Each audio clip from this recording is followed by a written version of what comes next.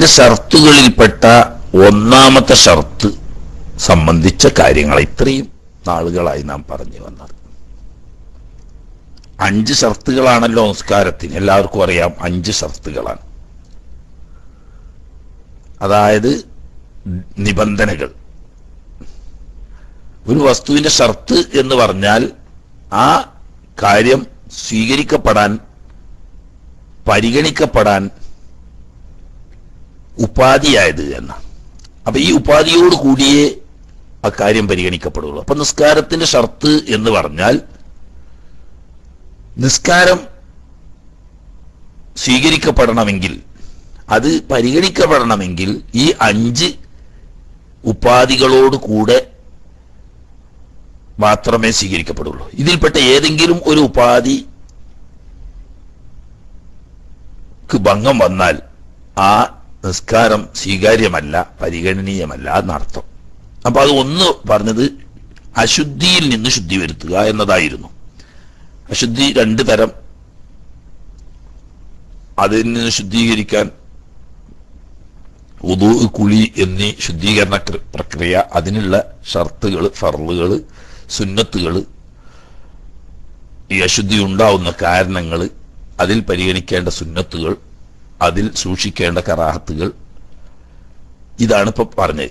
അടിസ്ഥാനപരമായ ശുദ്ധീകരണമാവുന്ന ഉദുവോ കുളിയോ നിർവഹിക്കാൻ പറ്റാതെ വരുന്ന സാഹചര്യത്തിൽ അതിന് പകരം നിർവഹിക്കുന്ന തൈമവും ഇത്രയും പറഞ്ഞത് ചെറുതും വലുതുമായ അശുദ്ധിയിൽ നിന്ന് ശുദ്ധീകരിക്കുക എന്ന ഭാഗമാണ്. ഇനി നിസ്കാരത്തിന്റെ ഷർത്തുകളിൽപ്പെട്ട രണ്ടാമത്തെ ഷർത്ത് നജസിൽ നിന്ന് മാലിന്യങ്ങളിൽ നിന്ന് ശുദ്ധി വരുത്തുക. അതാണ് നമുക്ക് പറയാനുള്ളത്. എന്താണ് നജസ് എന്ന് ആദ്യം പറയും. എന്നിട്ട് നജസിന്റെ വിവിധ ഇനങ്ങളും അവയുടെ വ്യത്യസ്ത അവസ്ഥകളും അവ ശുദ്ധിയാക്കേണ്ട രീതികളും അല്പം വിശദമായി തന്നെ പറഞ്ഞു പോകുന്നുണ്ട് അത് സംബന്ധിച്ച്. അപ്പൊ നമ്മൾ പാഠം തുടങ്ങാം. ബിസ്മില്ലാഹി റഹീം അന്നജാസത്തു. അന്നജാസത്തു. നജസ നജസ് എന്നാൽ ലോകത്തൻ ഭാഷാർത്ഥത്തിൽ അറബി ഭാഷയിൽ ഭാഷാപരമായി നോക്കുമ്പോൾ നജാസത്ത് എന്ന വാക്കിന് അർത്ഥം കുല്ലു മുസ്തഖരിൻ. മലിനമായ മാലിന്യമായി കണക്കാക്കപ്പെടുന്ന എല്ലാ മലിന വസ്തുക്കളെ സംബന്ധിച്ചും നജസ് എന്ന് പറയാം. അല്ലെങ്കിൽ എല്ലാ മ്ലേച്ഛ വസ്തുക്കളെ സംബന്ധിച്ചും ഭാഷാർത്ഥത്തിൽ നജസ് എന്ന് പറയാം. മ്ലേച്ഛമായതൊക്കെ നജസ്സാണ് എന്നാണ് ഭാഷയുടെ ശൈലി അറബി ഭാഷയിലത് എന്നാൽ ശരീരത്തിൽ ഇസ്ലാമിക നിയമത്തിൽ നജസ് എന്ന് പറഞ്ഞാൽ എന്താ? എല്ലാ മ്ലേച്ഛ വസ്തുക്കളും നജസ്സാണോ? അതല്ല. അത് ഭാഷാപരമായ ശൈലിയാണ് പറഞ്ഞത്. ഷറൈന്റെ സാങ്കേതിക പ്രയോഗത്തിൽ അതിന് പ്രത്യേക അർത്ഥമുണ്ട്. ഹുത്തുബ എന്ന് പറഞ്ഞാൽ പ്രസംഗമാണ് എന്ന് പറയുമ്പോൾ അത് ഭാഷയിൽ അങ്ങനെയാണ്. പക്ഷെ സാങ്കേതികമായി പറയുമ്പം വെറും പ്രസംഗമല്ല. എന്നതുപോലെ നജാസത്ത് എന്ന് പറഞ്ഞാൽ എല്ലാ മ്ലേച്ഛ വസ്തുക്കളും. എന്നാൽ ഷറൈലോ സിഹത്ത സ്വലാത്തി ലാ മുറഖിസ. മുസ്തഖ്ദറുൻ മ്ലേച്ഛമായ വസ്തുവാണ്. എങ്ങനെയുള്ള മ്ലേച്ഛമായ വസ്തു? യംനഉ സിഹത്ത സ്വലാത്തി.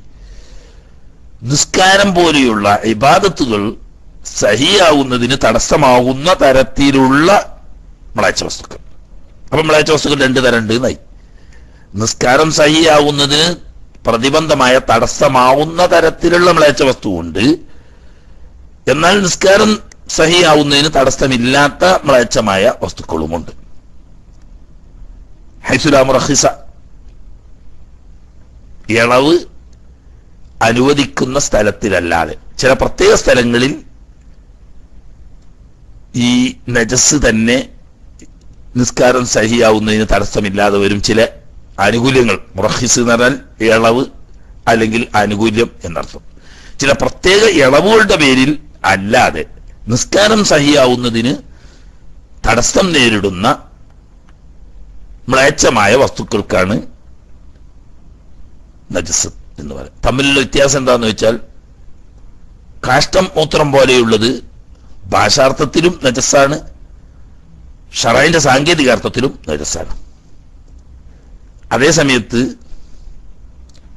മനുഷ്യർ തുപ്പുന്ന തുപ്പുനീര് മൂക്ക് ചീറ്റുന്നത് കാർക്കിച്ച് തുപ്പുന്നത് തുടങ്ങിയതൊക്കെ ഭാഷാർത്ഥത്തിൽ നജാസത്താണ്. കാരണം അതൊക്കെ നമ്മൾ അയച്ച വസ്തുക്കളാണ്. എന്നാൽ അതുകൊണ്ട് നിസ്കാരം സഹിയാവുന്നതിന് തടസ്സമൊന്നുമില്ല. അതുകൊണ്ട് ഷറയിൽ അത് നജസല്ല അപ്പൊ മുസ്തഖുദർ ആയ മ്ലേച്ഛമായ വസ്തുക്കൾ നജസ് ഉള്ളതും ഉണ്ട് നജസല്ലാത്തതുമുണ്ട് ഷറയിൽ. നജസ് ഉള്ളത് പറഞ്ഞാൽ പ്രത്യേക ഇളവില്ലാത്ത സാഹചര്യത്തിൽ നിസ്കാരം ചെയ്യാവുന്നതിന് പ്രതിബന്ധമാവുന്ന മ്ലേച്ഛ വസ്തുക്കൾ ഏതൊക്കെയുണ്ടോ അതാണ് ഷറായിൽ സാങ്കേതികമായി നജസ് എന്ന് പറയുന്നത്. വത്തജിബു ഇസാലത്തുഹ. ഇനി എന്തൊക്കെ നജസുകൾ എന്ന് പറയും. വിശദമായി തന്നെ പറയുന്നുണ്ട്. വത്തജിബു നജസിനെ നീക്കൽ നിർബന്ധമാവും. ദേഹത്തിലോ താൻ ധരിക്കുന്ന വസ്ത്രത്തിലോ നജസ് ഉണ്ടെങ്കിൽ ആ നജസിനെ നീക്കിക്കളയൽ നിർബന്ധമാണ്. എപ്പോഴും? എന്തോ സ്വല നിസ്കാരവേളകളിൽ നിസ്കാരിക്കാൻ ഉദ്ദേശിക്കുമ്പോൾ ഈ വ്യക്തിയുടെ ദേഹത്തിലോ വസ്ത്രത്തിലോ അദ്ദേഹം നിസ്കരിക്കാൻ നിൽക്കുന്ന സ്ഥലത്തോ നജസ്സുണ്ടെങ്കിൽ അത് നീക്കിയിരിക്കണം എന്നത് നിർബന്ധമാണ്. ഇല്ലെങ്കിൽ അവൻ കുറ്റക്കാരനാവും. അതോടുകൂടി ആ നിസ്കാരം സ്വീകാര്യമാവുകയും ഇല്ല. നിസ്കരിക്കുന്ന സമയത്ത് മാത്രം മതിയോ? അല്ലല്ല. വസ്തേമാലി ഷെയ്ഇൻ ഒരു വസ്തുവിനെ ഉപയോഗിക്കുമ്പോഴും നജസ് ഉണ്ടെങ്കിൽ നീക്കൽ നിർബന്ധമാണ്. എങ്ങനത്തെ വസ്തുവാണ്? ഫീഹി അന്നജാസത്തു. ആ വസ്തുവിൽ നജസ്സുണ്ട്. നജസ്സുള്ള ഒരു വസ്തുവിനെ നമ്മൾ ഉപയോഗിക്കുകയാണ്. എങ്കിൽ ആ നജസ് നീക്കി കളഞ്ഞതിന് ശേഷമേ ആ വസ്തുവിനെ ഉപയോഗിക്കാൻ പാടുള്ളൂ. അല്ലാതെ നജസ്സോട് കൂടി അത് നാം ഉപയോഗിക്കാൻ പാടില്ല. അതുപോലെ തന്നെ അബസൻ. നജസ് ഒരാൾ പുരട്ടുന്നു. ദേഹത്തിലോ വസ്ത്രത്തിലോ നജസ്സിനെ പുരട്ടുന്നു. അങ്ങനെ പുരട്ടിയാലും അത് നീക്കിക്കളയൽ നിർബന്ധമാണ്. മനഃപൂർവം ദേഹത്തിലോ വസ്ത്രത്തിലോ നജസ് പുരട്ടാൻ പാടില്ല. എന്നാൽ ചിലപ്പോൾ ചില കാര്യങ്ങളുണ്ടാവും. എന്നാ പറ്റും? എങ്ങനെ പുരട്ടുമ്പം അബസൻ വെറുതെ അലക്ഷ്യമായിട്ട് എന്നൊക്കെ. പ്രത്യേക ലക്ഷ്യത്തിന് വേണ്ടി അല്ലാതെ ദേഹത്തിൽ നജസ് പുരട്ടി അല്ലെങ്കിൽ വസ്ത്രത്തിൽ നജസ് പുരട്ടി എന്നാൽ അത് കഴുകി കളയൽ നിർബന്ധമാകും അപ്പൊ ആവശ്യത്തിന് വേണ്ടിയാണെങ്കിലോ പ്രശ്നമില്ല എന്നർത്ഥം ഇപ്പൊ ഉദാഹരണം പഴയ കാലത്ത് ഈ ചികിത്സയുടെ കൂട്ടത്തിൽ ചില പ്രത്യേക രോഗങ്ങൾക്ക് ഗോമൂത്ര ചികിത്സ ചെയ്യാറുണ്ട്. അപ്പം ഗോമൂത്ര നിരസനയാണ് പക്ഷെ ഈ ചികിത്സാർത്ഥം അത് ഉപയോഗിക്കുന്നതിന് വിരോധമില്ല. അത് ഉടനെ കഴുകി കളഞ്ഞോളണമെന്നില്ല ഇങ്ങനെ ചികിത്സാർത്ഥം ശരീരത്തിൽ പുരട്ടിയ ഈ ഗോമൂത്രം നിസ്കരിക്കാൻ സമയത്ത് കഴുകിക്കളഞ്ഞാൽ മതി. അല്ലാതെ വെറുതെ ആണെങ്കിൽ ദേഹത്തിലോ വസ്ത്രത്തിലോ പുരട്ടിയാൽ കഴുകിക്കളയിൽ ഉടനെ നിർബന്ധമാവും. അതുപോലെ മിൽക്ക വൈരിൻ. മറ്റൊരാളുടെ ഉടമയിലുള്ള വസ്ത്രം സ്ഥലം പോലെയുള്ളത് നജസാക്കി. എന്നാൽ ആ നജസിനെ നീക്കിക്കൊടുക്കൽ നിർബന്ധമാവും. ഉദാഹരണം പറഞ്ഞാൽ മുമ്പ് കാലത്തൊക്കെ ഇപ്പോഴും അതൊക്കെ പോയി. മുമ്പ് കാലത്തൊക്കെ മലവിസർജനം ചെയ്യാൻ വീടുകളിൽ നമ്മുടെ നാട്ടിൻ പുറങ്ങളിലൊന്നും കക്കൂസുകളില്ല. ഒഴിഞ്ഞ സ്ഥലത്ത് പോയിട്ട് മലവിസർജനം നടത്താറാണ് അന്നത്തെ പതിവ്. അങ്ങനെ വരുമ്പോ പാവപ്പെട്ട ആളുകൾക്ക് കുറഞ്ഞ സ്ഥലം ഉണ്ടാവും. അവരുടെ സ്ഥലത്ത് മലവിസർജനം നടത്താനുള്ള സൗകര്യം ഉണ്ടായിരിക്കില്ല. അപ്പൊ സമീപത്തുള്ള വലിയ സ്ഥലങ്ങൾ ഏക്കർ കണക്കിന് ഉള്ള സ്ഥലങ്ങളുള്ള മുതലാളിമാരുണ്ടാവും. അവരുടെ സ്ഥലത്ത് ഒഴിഞ്ഞ സ്ഥലം മറവുള്ള സ്ഥലത്തൊക്കെ പോയിട്ട് മലവിസർജനം ചെയ്യാറുണ്ടായിരുന്നു. ഇത് അവർക്ക് സമ്മതമാണെങ്കിൽ വിരോധമില്ല. അവർക്ക് സമ്മതമില്ലെങ്കിൽ അത് ഹറാമാ. കാരണം എന്താ അന്യൊരാളുടെ ഉടമയിൽപ്പെട്ട സ്ഥലത്തെ നജസാക്കാണ് അത് അദ്ദേഹത്തിന് സമ്മതം ഉണ്ടെങ്കിലേ പറ്റൂ ഇല്ലാതെ സമ്മതമില്ലാതെ മറ്റൊരാളുടെ ഉടമയിൽപ്പെട്ട സ്ഥലം അല്ലെങ്കിൽ വസ്തു പോലത്തതിന് നജസാക്കിയാൽ അതിനെ നീക്കൽ നിർബന്ധമാണ്. ഈ നജസാക്കിയ വ്യക്തി. ഇനി വത്തജിബു ഇസാരത്തുഹ നജസ് നീക്കൽ നിർബന്ധമാകും. അയലൻ ഇവക്ക് പുറമെ അനിൽ മയ്യത്തി. മയ്യത്തിന്റെ ദേഹത്തിൽ നിന്നും നജസ് നീക്കേണ്ടി വരും. എപ്പോഴ് ഇതാ ഹറജത്ത് മിന്നു ഈ മയ്യത്തിന്റെ ദേഹത്തിൽ നിന്നും നജസ് പുറപ്പെട്ടാൽ ഉദാഹരണം മയ്യത്ത് കുളിപ്പിച്ചു കഴിഞ്ഞു. കുളിപ്പിച്ചു കഴിഞ്ഞ് അതിനുശേഷം ഈ മയ്യത്തിന്റെ വയറ്റിൽ നിന്ന് മലമോ മൂത്രമോ പുറത്തു വന്നു. എന്നാൽ അത് കഴുകി വൃത്തിയാക്കി കൊടുക്കൽ നിർബന്ധ. കുളി രണ്ടാമത് ആവർത്തിക്കേണ്ടതില്ല. പക്ഷെ ആ നജസ് പുറപ്പെട്ടാൽ ആ നജസ് കഴുകി വൃത്തിയാക്കി കൊടുക്കണം. എന്നതുപോലെ തന്നെ വമിനൽ മസ്ജിദി പള്ളിയിൽ നിന്നും നജസിനെ നീക്കൽ നിർബന്ധമാണ് അതിന് പള്ളി മുക്കറിനെയോ അല്ലെങ്കിൽ ക്ലീനിങ്ങിന് മാത്രം ഒരാളെ ഏൽപ്പിച്ചിട്ടെങ്കിൽ അയാളെ തെരഞ്ഞെടുക്കാൻ പാടില്ല. ആരാണോ പള്ളിയിൽ നജസ് കണ്ടത് കണ്ടവരുടെ മേൽ ഉജൂബാണ് അത് ഉടനെ നീക്കിക്കൊള്ളണം. പലരും ശ്രദ്ധിക്കാതെ പോകുന്ന ഒരു പ്രധാന വിഷയമാണത്. നാട്ടിലൊക്കെ വ്യാപകമായി കാണാം. പല്ലികളുണ്ടാവും ഈ പല പ്രാണികളെയും അതും ഇതും പിടിക്കാൻ വേണ്ടിയിട്ട് പള്ളിയിലൊക്കെ പലപ്പോഴും പ്രത്യേകിച്ച് ഈ ലൈറ്റിന്റെ അടുത്തൊക്കെ പല്ലികൾ വന്നുകൂടും. ഈ പല്ലികൾ കാഷ്ടിച്ചിട്ടുണ്ടാവും. പല്ലിക്കാഷ്ടമല്ലേ എന്ന് വെച്ചിട്ട് കാര്യമില്ല. സാധനം അത് നരസാണ് പള്ളിയിൽ കിടക്കുന്നുണ്ടു. കമ്മിറ്റി പ്രസിഡന്റ് ആയാലും കമ്മിറ്റി സെക്രട്ടറി ആയാലും ഇനി അല്ലാത്ത മുത്തവല്ലിമാരാരെങ്കിലും ആയാലും എല്ലാ സാധാരണക്കാർ ആരായാലും ആരാണോ അത് കണ്ടത് കണ്ട ആളുടെ മേൽ ഫറലായി അതെടുത്ത് ഒഴിവാക്കിയ സ്ഥലം നന്നാക്കൽ. അതിന് മല്ലാക്കാനെ വിളിച്ചിട്ട് അയാളോട് ദേഷ്യം പിടിക്കുക. ചില ആളുകളുണ്ട് അയാൾ അധികാരം കാണിക്കാൻ വേണ്ടിയിട്ട്. മല്ലാക്ക് എന്തെങ്കിലും കാര്യമായ ഷോലപ്പുറത്തായിരിക്കും ഇദ്ദേഹം ഒരു പള്ളിക്കാഷ്ടം കണ്ടപ്പോ ഇയാളടുത്ത് പോയിട്ട് മല്ലാക്കാനെ പോയി വിളിച്ചു കൊണ്ടുവന്നു കൊണ്ടുവന്നിട്ട് ഇത് കാണിച്ചു കൊടുക്കുക.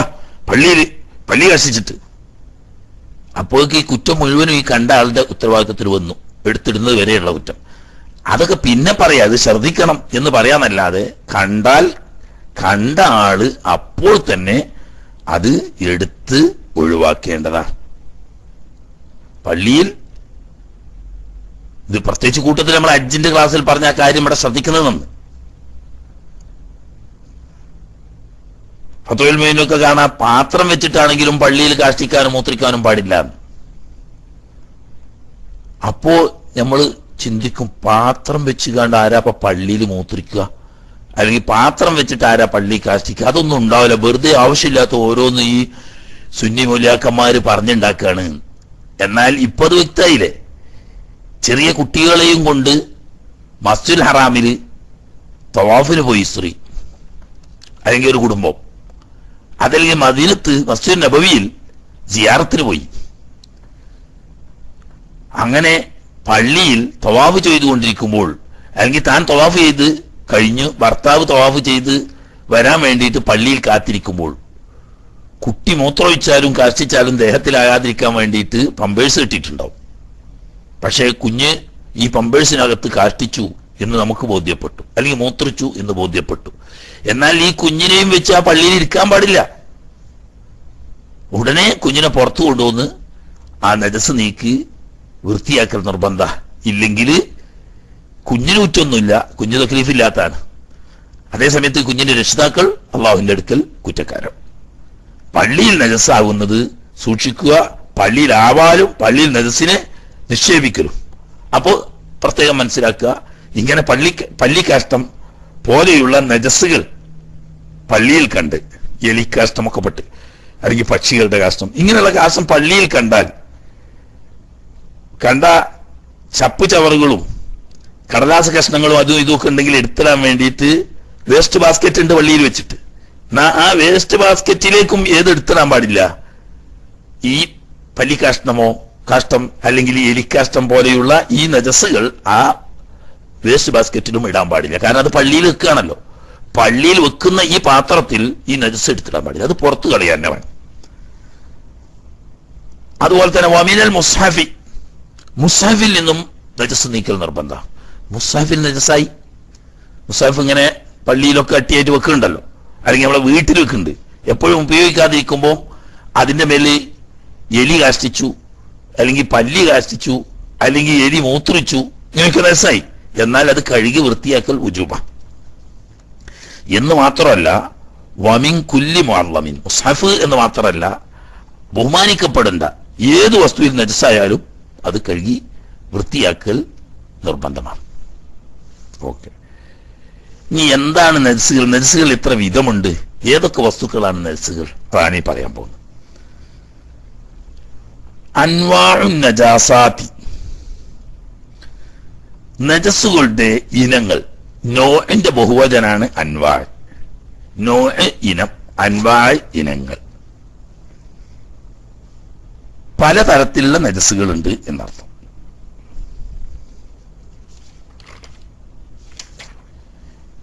ഇതൊക്കെ.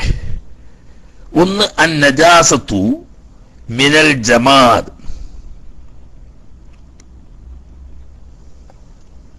നിർജീവ വസ്തുക്കളിൽ നിന്നുള്ള നജസ്സുകൾ. സാധനം നിർജീവമാണ് ജീവനില്ലാത്തതാണ് അങ്ങനെയുള്ള നജസ്സുകൾ ഏതൊക്കെ? ജീവനുള്ള നജസ്സുണ്ട്. അത് പറയുന്ന ഞാൻ വിവരിക്കാൻ വേണ്ടിയിട്ടാ. നജസ്സുകൾ രണ്ടിനം. ഒന്ന് ജീവനുള്ളത് മറ്റൊന്ന് ജീവനില്ലാത്തത്. അപ്പൊ ജീവനില്ലാത്ത നജസ്സുകൾ ഏതൊക്കെ?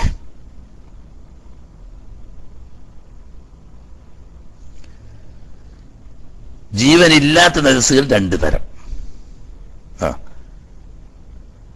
അതായത് ആദ്യം നജസ്സിനെ രണ്ടായി തിരിച്ചു. ഒന്ന് ജീവനിൽ ഉള്ള നജസ്സുകൾ രണ്ട് ജീവനില്ലാത്ത നജസ്സുകൾ. ഈ ജീവനില്ലാത്ത നജസ്സുകൾ രണ്ട് തരം. ഒന്ന് ജീവികളിൽ നിന്നും പുറത്തു വരുന്ന അവശിഷ്ടങ്ങൾ. മറ്റൊന്ന് അല്ലാത്ത നിർജീവമായ നജസ്സുകൾ. അപ്പൊ നിർജീവമായ നജസ്സുകൾ ജീവികളിൽ നിന്ന് പുറപ്പെടുന്ന അവശിഷ്ടവും അല്ലാത്തതുമായി രണ്ട് തരം. ആദ്യം പറയുന്നത് നിർജീവമാണ് എന്നാൽ ജീവിയിൽ നിന്നും പുറപ്പെട്ട അവശിഷ്ടമല്ല. അതൊക്കെ ഒന്ന് ഫസ്റ്റ് തന്നെ പറയുന്ന നഴ്സ് കുല്ലു മുസ്കിരിൻ എല്ലാ ലഹരിയുള്ള വസ്തുക്കളും. എങ്ങനെയുള്ള ലഹരി? മാ ദ്രാവക രൂപത്തിലുള്ള വെള്ളമായിട്ടുള്ള.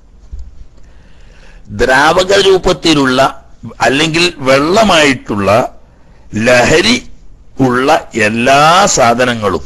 അതാണ് ഒന്നാമത്തെ നജസ്. ഇന്നത് പ്രത്യേകിച്ച് പറയേണ്ടതാണ്. വളരെ വ്യാപകമായി അള്ളാഹുത്താല നമ്മുടെ സമുദായത്തെ കാത്തിരക്ഷിക്കുമാറാകട്ടെ. വളരെ വ്യാപകമായി ഭയാനകമായ നിലയ്ക്ക് മുസ്ലിം ചെറുപ്പക്കാരിലും ഒരു പരിധിവരെ ചെറുപ്പക്കാരികളിലും വളരെ വ്യാപകമായി മദ്യപാനം അതിശീഘ്രം പ്രചരിച്ചുകൊണ്ടിരിക്കുന്നു. അള്ളാഹുത്താല ഈ സമുദായത്തെ കാത്തുരക്ഷിക്കുമാറാകട്ടെ. യഥാർത്ഥത്തിൽ ഇത് മുസ്ലിം ശത്രുക്കൾ മുസ്ലിം സമുദായത്തെ ഹൈജാക്ക് ചെയ്യുകയാണ് ചെയ്തത്. മുമ്പ് ഇതിനെ സംബന്ധിച്ച് മുസ്ലിം ശത്രുക്കൾ ഒരു പഠനം നടത്തുകയുണ്ടായി. മുസ്ലിങ്ങൾ അംഗസംഖ്യയിൽ വളരെ കുറവാണെങ്കിലും എല്ലാ നിലക്കും അവർ അഭിമാനത്തിലും അന്തസ്സിലും ആഭിജാത്യത്തിലും ഉയർന്നു നിൽക്കുന്നു. എവിടെയും അവർക്ക് വിജയം എളുപ്പമാണ്. ശത്രുപക്ഷം എല്ലാ അർത്ഥത്തിലും സാമ്പത്തികമായും അംഗസംഖ്യ കൊണ്ടും സ്ഥാനമാനങ്ങൾ കൊണ്ടും ഒക്കെ മുന്നിലാണ്. പക്ഷെ അവരെപ്പോഴും പരാജയപ്പെടുന്നു. ഇതിന്റെ കാരണം പഠനം നടത്തിയപ്പോൾ മുഖ്യമായി അവർ കണ്ടെത്തിയ കാരണം മദ്യപാനം വ്യാപകമായി അവരിൽ അവരുടെ ചെറുപ്പക്കാരിലും മുതിർന്നവരിലും ഉണ്ട്. അതാണ് അവരുടെ തകർച്ചയുടെയും പരാജയത്തിന്റെയും കാരണം. എന്നാൽ മുസ്ലിങ്ങളിൽ എന്തൊക്കെ പോരായ്മകൾ ഉണ്ടെങ്കിലും ലഹരി വസ്തുക്കൾ ഉപയോഗിക്കുന്നതിൽ അവർ വളരെ അകലെയാണ്. ഇതാണ് അവരുടെ വിജയത്തിന് നിദാനം ഇത് മാറ്റിമറിച്ചെടുക്കാൻ വേണ്ടി ഇന്ന് ഗ്രാമ ഗ്രാമാന്തരങ്ങളിൽ നമ്മുടെ നാട്ടിൽ മുസ്ലിം ശത്രുക്കൾ വിരോധികൾ അവരുടെ ചെറുപ്പക്കാര് യുവാക്കൾ സ്ത്രീകൾ സാധാരണക്കാരിലൊക്കെ മദ്യവിരുദ്ധ മനോഭാവം ഉണ്ടാക്കിയെടുക്കാൻ വേണ്ടി ശക്തമായ പ്രവർത്തനവും പ്രചരണവും നടത്തിക്കൊണ്ടിരിക്കുകയാണ്. അതുകൊണ്ട് തന്നെ വലിയൊരു ഭാഗം ചെറുപ്പക്കാര് അവരിന്ന് മദ്യം തൊടാതെ അതുകൊണ്ട് തന്നെ വളരെ കുറഞ്ഞ കാലം കൊണ്ട് സാമ്പത്തികമായി വളരെ പുരോഗതി അത്തരക്കാർ നേടിയെടുക്കുന്നുണ്ട്. അതേസമയത്ത് മുസ്ലിം യുവാക്കൾ യുവതികൾ ഒരു പരിധി വരെയും ഒരു കാട്ടുതീ പോലെ ഈ ഒരു അപകടകരമായ സ്വഭാവം മുസ്ലിം സമൂഹത്തിൽ യുവതയിൽ വ്യാപിച്ചുകൊണ്ടിരിക്കുന്നു. അതിന് ശക്തമായ ചരടുവലി പിന്നിൽ നിന്നിട്ട് നടത്തുന്നുണ്ട് അത് മനസ്സിലാക്കാൻ നമ്മുടെ കുട്ടികൾക്ക് സാധിക്കുന്നില്ല. ഇസ്ലാം അത് ഹറാമാക്കുക ഉപയോഗം ഹറാമാക്കുക മാത്രമല്ല മലിനമായ മാലിന്യമായ എണ്ണപ്പെടുന്ന വസ്തുക്കളിൽ ഏറ്റവും ഒന്നാം സ്ഥാനത്ത് ഒന്നായി എണ്ണുന്നത് ലഹരി വസ്തുക്കളെ. അപ്പോ ദേഹത്തിലോ വസ്ത്രത്തിലോ താൻ നിൽക്കുന്ന സ്ഥലത്തോ ഒരു ഇറ്റു അബദ്ധത്തിലായി പോയാൽ അത് കഴുകി വൃത്തിയാക്കൽ നിർബന്ധമാവുന്ന നിലയ്ക്ക് അത്രയും കഠിന അത് തൊട്ടാൽ കഴുകേണ്ടതായ നജസ്സാണ് എന്നാണ് ഇസ്ലാം പഠിപ്പിക്കുന്നത്. എന്നാൽ ദ്രാവക രൂപത്തിലല്ലാത്ത ഖരരൂപത്തിലുള്ള കഞ്ചാവ് ഉമ്മത്തുങ്കായ പോലെയുള്ള അതിനുമൊക്കെ ലഹരി ഉണ്ടല്ലോ. എന്നാൽ അത് ഉപയോഗിക്കൽ കടുത്ത ഹറാമാണ്. എന്നാൽ നജസല്ല. കാരണം അത് മായ എന്ന് പറയുന്ന ദ്രാവക രൂപത്തിലല്ല ഖര രൂപത്തിലാണ് എന്നതുകൊണ്ട് അത് സാധന നജസല്ല പക്ഷെ ഉപയോഗിക്കൽ ഹറാമ് തന്നെയാണ്. ഏതുപോലെ ലഹരി ദ്രാവക രൂപത്തിലുള്ള ലഹരി പദാർത്ഥം എന്ന് പറഞ്ഞ ഹംരിൻ. മദ്യം പോലെ. എന്താണ് ഹംറ് എന്ന് അറബി ഭാഷയിൽ സാക്ഷാൽ പറഞ്ഞാൽ വഹിയ ഹംറ് എന്നത് അൽ മുത്തഹിദത്തു മിനൽ ഇനബി. മുന്തിരി കൊണ്ട് നിർമ്മിക്കുന്ന മദ്യത്തിനാണ് അറബി ഭാഷയിൽ ഹംറ് എന്ന് പറയുക. ആ ഹംജിൻ എന്ന് പറഞ്ഞു. അപ്പോ മുന്തിരിക്കള്ള് എന്ന് നമുക്ക് വേണമെങ്കിൽ പരിഭാഷപ്പെടുത്താം. പോലെ. വനബീദിൻ മറ്റ് മദ്യങ്ങൾ. ബാക്കി മുന്തിരിയിൽ നിന്നിട്ടുണ്ടാക്കിയതല്ലാത്ത എല്ലാ മദ്യങ്ങൾക്കും മൊത്തം പറയുന്ന പേരാണ് നബീദ്. ഉണ്ടോ? വഹുവ നബീദ് എന്നാൽ മിൻ വൈരിഹി ഈ മുന്തിരിയിൽ നിന്നല്ലാതെ നിർമ്മിക്കപ്പെടുന്ന എല്ലാ മദ്യങ്ങൾക്കും നബീദ് എന്ന് പറയും. അത് നമ്മളെ പട്ടച്ചാരായം മുതൽക്ക് തുടങ്ങിയിട്ട് ബ്രാൻഡി വിസ്കി മറ്റ് മറിച്ച് നൂറ്റൊന്ന് പേരിൽ അറിയപ്പെടുന്ന എല്ലാ മദ്യങ്ങളും നബീർ എന്ന് പറയുന്ന പട്ടികയിൽപ്പെട്ട. അതെല്ലാം നജസ നജസല്ലാത്ത ഒന്നുമില്ല. അത് നജസാനെന്ന് പറഞ്ഞ പോലെ കുത്തുറത്തൻ ഒറ്റ തുള്ളിയാണ്. ഒരു തുള്ളി തെറിച്ചിട്ടേ ഉള്ളൂ. എന്നാലും അത് നജസ് തന്നെ. ഇപ്പോ ഒരു പത്ത് ലിറ്റർ ഉള്ള ഒരു ബക്കറ്റിലെ വെള്ളം പത്ത് ലിറ്റർ നിറയെ വെള്ളമുണ്ട്. അതിലേക്ക് ഒറ്റ ഒരു തുള്ളി മദ്യം ഉറ്റിയാൽ ആ വെള്ളം ആകെ രസായി ആ അപ്പോ മുന്തിരിക്കള്ളാവട്ടെ അല്ലാത്ത മദ്യങ്ങളാകട്ടെ മദ്യങ്ങളെല്ലാം ഒന്നാമത്തെ ജീവനില്ലാത്ത എന്നാൽ ജീവികളിൽ നിന്ന് പുറപ്പെടുന്ന അവശിഷ്ടങ്ങളല്ലാത്ത നജസുകളിൽ ഒന്നാമത്തേത് ലഹരി പദാർത്ഥമാവുന്ന മദ്യങ്ങൾ. അപ്പൊ എന്താ ഈ ഈ ദ്രാവക രൂപത്തിലുള്ളത് എന്ന് പ്രത്യേകം പറയാൻ കാരണം അമ്മൽ മുസ്കിറുൽ ജാമിദു. ഖരരൂപത്തിലുള്ള ലഹരി വസ്തുക്കൾ. അത് ദ്രാവകമല്ല. ഏതുപോലെ കൽ ബഞ്ചി ഉമ്മത്തും കായ. അതിന് ഓരോ ഭാഗത്തും ഓരോ പേരായിരിക്കും പറയാ. ഒരു ചെടിയാണത്. ഈ ചെടിയിൽ പൂവുണ്ടാവും കായ ഉണ്ടാവും. കായ ഉണ്ടാവുമ്പോൾ ഉരുണ്ടിട്ട് നിറച്ച് മുള്ള് ചക്കയുടെ മുള്ള് പോലെ മുള്ളു മുള്ളുള്ള ഒരു തരം കായയാണ്. ഇതിന്റെ പൂവ് ഉണക്കി പൊടിച്ചിട്ട് ആസ്തമ രോഗികൾ കടലാസിലോ അല്ലെങ്കിൽ വീടിയലയിലോ ഒക്കെ ചുരുട്ടിയിട്ട് വലിക്കാറുണ്ട്. താൽക്കാലികമായി ഈ ശ്വാസ തടസ്സത്തിന് ഈ ശ്വാസം മുട്ടിന്റെ രോഗത്തിന് ചെറിയ താൽക്കാലിക ആശ്വാസം ലഭിക്കും. അതിന്റെ പൂവ് പൊടിച്ചിട്ട് ഉപയോഗിച്ചാൽ. ഇങ്ങനെ ചില മരുന്നുകൾക്കൊക്കെ ഉപയോഗിക്കുന്ന ഒരു വസ്തുവാണ് ഈ ഉമ്മത്ത് എന്ന് പറയാം അതിന്റെ ഇല അതിന്റെ വേര് ഒക്കെ വരെ ആയുർവേദ മരുന്നുകളിലും ഉപയോഗിക്കും. എന്നാൽ ഇതിന്റെ കായ കഠിനമായ ലഹരി വസ്തുവാണ്. കായ മുറിച്ചു നോക്കിയാൽ അതിന്റെ ഉള്ളിൽ ചെറിയ മുളകിന്റെ അരി പോലത്തെ ചെറിയ മണികൾ ഇങ്ങനെ ഉണ്ടാവും വിത്തുകൾ. അത് കഴിച്ചാൽ അതല്ലെങ്കിൽ മദ്യത്തിന് ഈ ലഹരി ശക്തി കൂടാൻ വേണ്ടിയിട്ട് അതിൽ ഇത് ഉപയോഗിക്കാറൊക്കെ ഉണ്ട് ആളുകൾ. ഇതാണ് ബഞ്ച് എന്ന് പറയുന്നത്. ഇനി ഉമ്മത്ത് എന്നാണ് അതിന് പറയാം. ഉമ്മത്തും കായ പറയും. അതിപ്പോ ഒരു കായയാണ്. അത് ലഹരി രൂപത്തിലല്ല അല്ല ദ്രാവക രൂപത്തിലല്ല കര രൂപത്തിലാണ് വെൽ അഫിയൂൻ കറുപ്പ് അവീൻ എന്ന് നമ്മൾ പരിചയപ്പെടുത്തുന്ന അതിനാ അതിനെ അറബിയിൽ അഫിയൂൻ എന്നാ പറഞ്ഞത്. അതും തന്നെ ഖരരൂപത്തിലുള്ളതാണ് ഇതല്ല ഈ നീരായിട്ട് അല്ല. വൽ ഹഷീഷ് ആ നമ്മളെ കഞ്ചാവ്. ഇങ്ങനെയുള്ള കഞ്ചാവ് കറുപ്പ് ഉമ്മത്തും കായ. കറുപ്പ് എന്ന് പറഞ്ഞാൽ ചിലവർക്ക് തിരിയില്ല. അതിനാണ് അവീൻ എന്ന് പറഞ്ഞത്. അവീൻ എന്ന് പറഞ്ഞാൽ തിരിയാത്തവർക്ക് വേണ്ടിയിട്ടാണ് കറുപ്പ് എന്ന് പറഞ്ഞത് സാധനമൊക്കെ തന്നെ. ഇതൊക്കെ ലഹരി ഉണ്ടാക്കുന്ന സാധനങ്ങളാണെങ്കിലും ഫതാഹിറുൻ സാധനം നജസാണ്. അല്ല താഹിറാണ്. സാധനം നജസല്ല. നജസല്ല എന്ന് വെച്ചാൽ ഉപയോഗിക്കാൻ പറ്റുമോ? അല്ല ലാക്കിൻ. പക്ഷേ എന്ന് പറഞ്ഞാൽ നജസല്ല താഹിറാണെങ്കിലും യഹ്റുമു ഹറാമാണ് തനാവുലുൽ കതിരിൽ മുസ്കിരി ലഹരി വരുത്തുന്ന മസ്താക്കുന്ന നിലക്കുള്ള ഉപയോഗം മിൻഹു ഈ വസ്തുക്കളിൽ നിന്നും.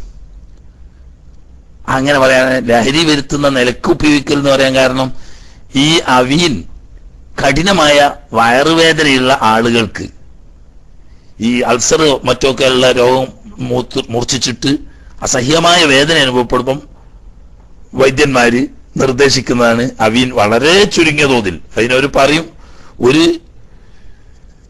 മുളകിന്റെ വിത്ത് ഒരു മുളകിന്റെ വിത്തിന്റെ അത്രയും ഉപയോഗിക്കാനേ പാടുള്ളൂ എന്നാണ് അങ്ങനെ ഉപയോഗിച്ചാൽ തൽക്കാലം വേദനയ്ക്ക് സമനം ലഭിക്കും.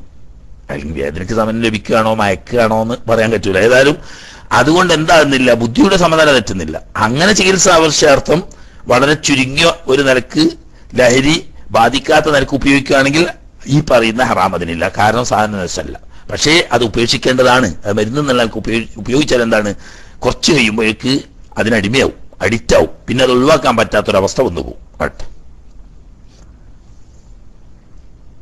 ഇപ്പോ നമ്മൾ നജസ് ഒന്ന് അലിഫായിട്ട് പറഞ്ഞത് ജീവനില്ലാത്ത എന്നാൽ ജീവികളിൽ നിന്ന് പുറപ്പെട്ട അവശിഷ്ടമല്ലാത്ത നജസ് ലഹരിയുള്ള ദ്രാവകങ്ങളാണ്. ഇനി രണ്ടാമത്തെ ഇനം പറയാം. ഭാവി അൻ നജാസത്തു മിനൽ ഹയവാൻ ജീവികളാണ്. ജീവികളിൽ നിന്നിട്ടുള്ള നജസ്. ജീവൻ ഉള്ളതോടുകൂടി നജസ്സായ വസ്തു വളരെ പരിമിതമായിട്ടേ ഉള്ളൂ. ഏകദേശം എല്ലാ ജീവികളും ജീവൻ ഉണ്ടായിരിക്കുമ്പോൾ അത് നജസ്സല്ല ശുദ്ധമാണ്. എന്നാൽ നജസ്സുള്ള ഏതാനും ചില വസ്തുക്കളുണ്ട്. അതേതാണ്?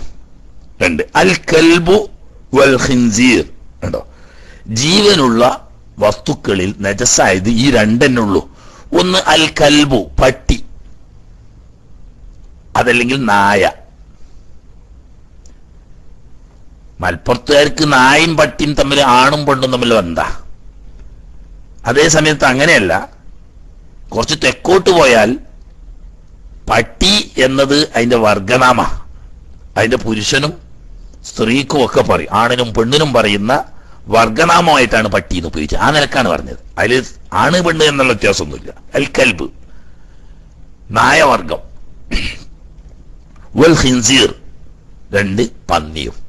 ഈ രണ്ട് വസ്തു തന്നെയേ ഉള്ളൂ ജീവനുള്ള വസ്തുക്കളിൽ നജസായത്. ബാക്കി എല്ലാ വസ്തുക്കളും ജീവനുണ്ടാവുമ്പോൾ നജസല്ല ഏകദേശം നായ പോലെ തോന്നുന്നതാണ് കുറുക്കൻ എന്ന് പറയുന്ന ജീവി. അതുവരെ ജീവനുണ്ടാവുമ്പോൾ നജസല്ല മറ്റൊരു ജീവിയും ജീവിച്ചിരിക്കുമ്പോൾ അതിന്റെ ദേഹം നജസല്ല. എന്നാൽ മൂന്നാമത്തെ ഒന്ന് പറയാറുണ്ടല്ലോ അതെന്താ നോക്കുക? വഫീ ഈ നായയുടെയും പന്നിയുടെയും വിധിയിൽ തന്നെയാണ് ഫറഉ കുല്ലി മിൻഹുമാ.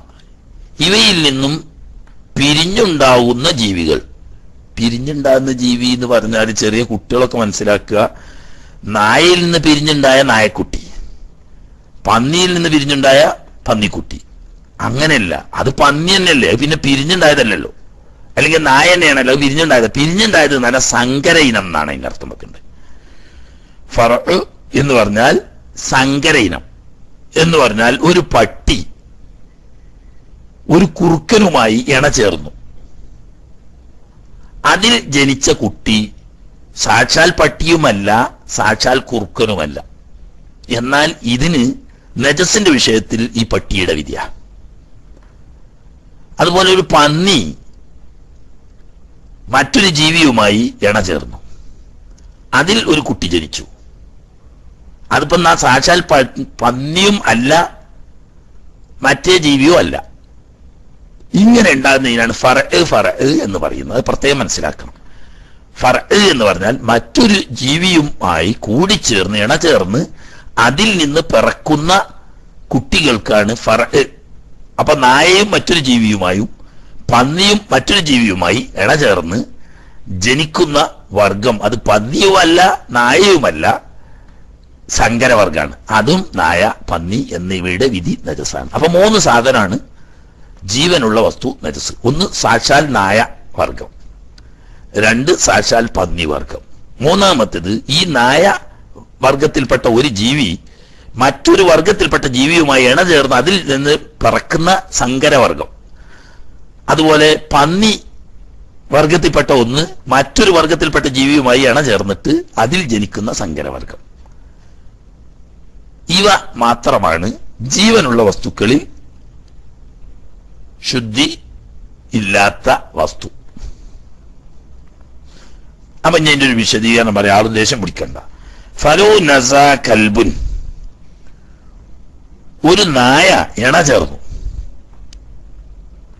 ഔ ഹിൻസീറുൻ അല്ലെങ്കിൽ ഒരു പന്നി. എവിടെ അല ആദമീയത്തിൻ ഒരു മനുഷ്യ സ്ത്രീയുമായി ഒരു മനുഷ്യ സ്ത്രീയുടെ മേൽ ഒരു നായയോ അല്ലെങ്കിൽ ഒരു പന്നിയോ ഇണ ഇണചേർന്നു ഫവരദത്ത് ആദമീയൻ. ആ സ്ത്രീ ഒരു മനുഷ്യ കുഞ്ഞിനെ പ്രസവിച്ചു. രൂപത്തിൽ മനുഷ്യൻ തന്നെയാണ്. പക്ഷേ പക്ഷേ ഇണചേർന്നത് നായയുമായിട്ടാണ്.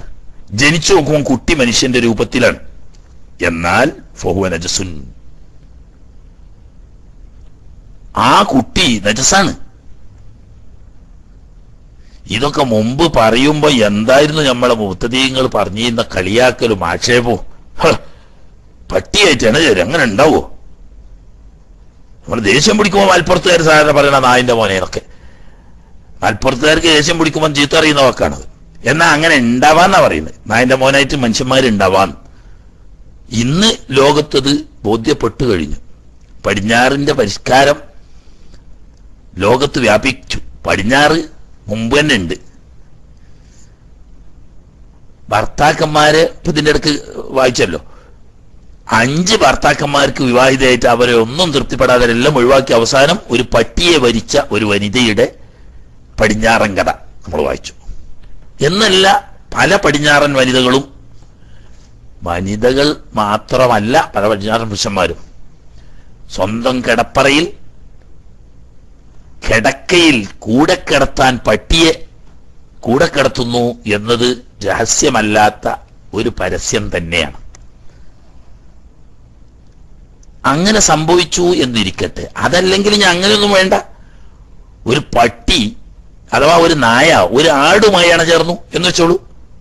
ആട് അതിൽ ഗർഭം ധരിച്ചു. പ്രസവിച്ചു നോക്കുമ്പോൾ ആട്ടിൻകുഞ്ഞ് തന്നെയാണ്. പക്ഷേ ഈ ആട്ടിൻകുഞ്ഞ് നഴ്സാണ്. ദേവിതി തന്നെയാണ്. മനുഷ്യൻ നല്ലൊരു ഉദാഹരണമാണ്. ഇങ്ങനെ സംഭവിക്കാം എന്നതുകൊണ്ട്. പക്ഷെ മനുഷ്യനാവുമ്പോഴുള്ള പ്രത്യേകത എന്താണെന്ന് വെച്ചാൽ ആൾ നഴ്സാണ്. ലാക്കിന്നഹു മാഫൂനൻഹു അദ്ദേഹത്തെ സംബന്ധിച്ച് വിടുതി ചെയ്യപ്പെടുന്ന ദിവസമാണ്. മറ്റുള്ളവർക്കല്ല അയാൾക്ക്. കാരണം എന്താ? അയാൾക്ക് ബുദ്ധിയുണ്ട്. രൂപത്തിൽ മനുഷ്യന്റെ രൂപമാണെന്ന് മാത്രമല്ല മനുഷ്യനെ പോലെ വിശേഷ ബുദ്ധി ഉണ്ട് താനും. എങ്കിൽ ആൾ നജസ് തന്നെയാണ്. കയ്യാശുദ്ധിയാവില്ലല്ലോ അതിന് നജസല്ലേ അപ്പൊ നാ പ്ര- ഈ- ഇയാൾക്ക് ബുദ്ധിയുണ്ടെങ്കിൽ ആൾ മനുഷ്യനാണ്. അപ്പൊ മനുഷ്യന്റെ മേലുള്ള തെക്കിലീഫുള്ള നിസ്കാരമൊക്കെ അയാൾക്ക് നിർബന്ധമാണ്. അപ്പൊ ഇയാളെങ്ങനെ നിസ്കരിക്കുക? അയാൾ തന്നെ അല്ലേ അയാൾ പറഞ്ഞ അഫുണ്ട് അഫുൻ എന്നു. അയാളെ സംബന്ധിച്ച് വിടുതിയാണ്. മുക്കല്ലഫുൻ അയാൾ നിർബന്ധിക്കപ്പെട്ടവനുമാണ് ബിസ്വലാത്തി നിസ്കാരം കൊണ്ടും വൈദ്യ മറ്റു ഇബാദത്തുകളെ കൊണ്ടും. അപ്പൊ നിസ്കാരാദി ഇബാദത്തുകൾ അയാൾ ചെയ്യുകയും വേണം. അയാൾക്ക് മനുഷ്യന്റെ വിധി ഉണ്ട് താനും. എന്നാ അതോടുകൂടി ആൾ നജസ്സാണ് താനും. പക്ഷെ അതുകൊണ്ട് നനവോടുകൂടി പള്ളിയിൽ കയറാൻ പാടില്ല. പള്ളിയിൽ കയറാ വയജൂസ് ഇമാമത്തുഹു. ഇങ്ങനത്തെ ഒരു നായിന്റെ മോനായ ഒരു മനുഷ്യനുണ്ട്. ആൾ നല്ല വിവരമൊക്കെ ഉണ്ട്. ബുദ്ധിയുണ്ട്. നല്ല വിവരമുണ്ട്. എന്നാ പള്ളിക്കൽ മോലിയാരായിട്ട് ഇമാമ് നിർത്താന്നാപ്പ പറഞ്ഞേ. ആൾ എങ്കിലും യജൂസ് ഇമാമത്തുഹു. അദ്ദേഹം ഇമാമുക്കലും ജായിസാവും. കാരണം അഫുവാണ്. അതെ വമുമാസത്തുഹു. അയാൾ സ്പർശിക്കുന്നത് കൊണ്ടും വിരോധമില്ല. ആൾ നെൽസ് തന്നെയാണെങ്കിലും മനുഷ്യനാണല്ലോ. ബുദ്ധിയുണ്ടല്ലോ.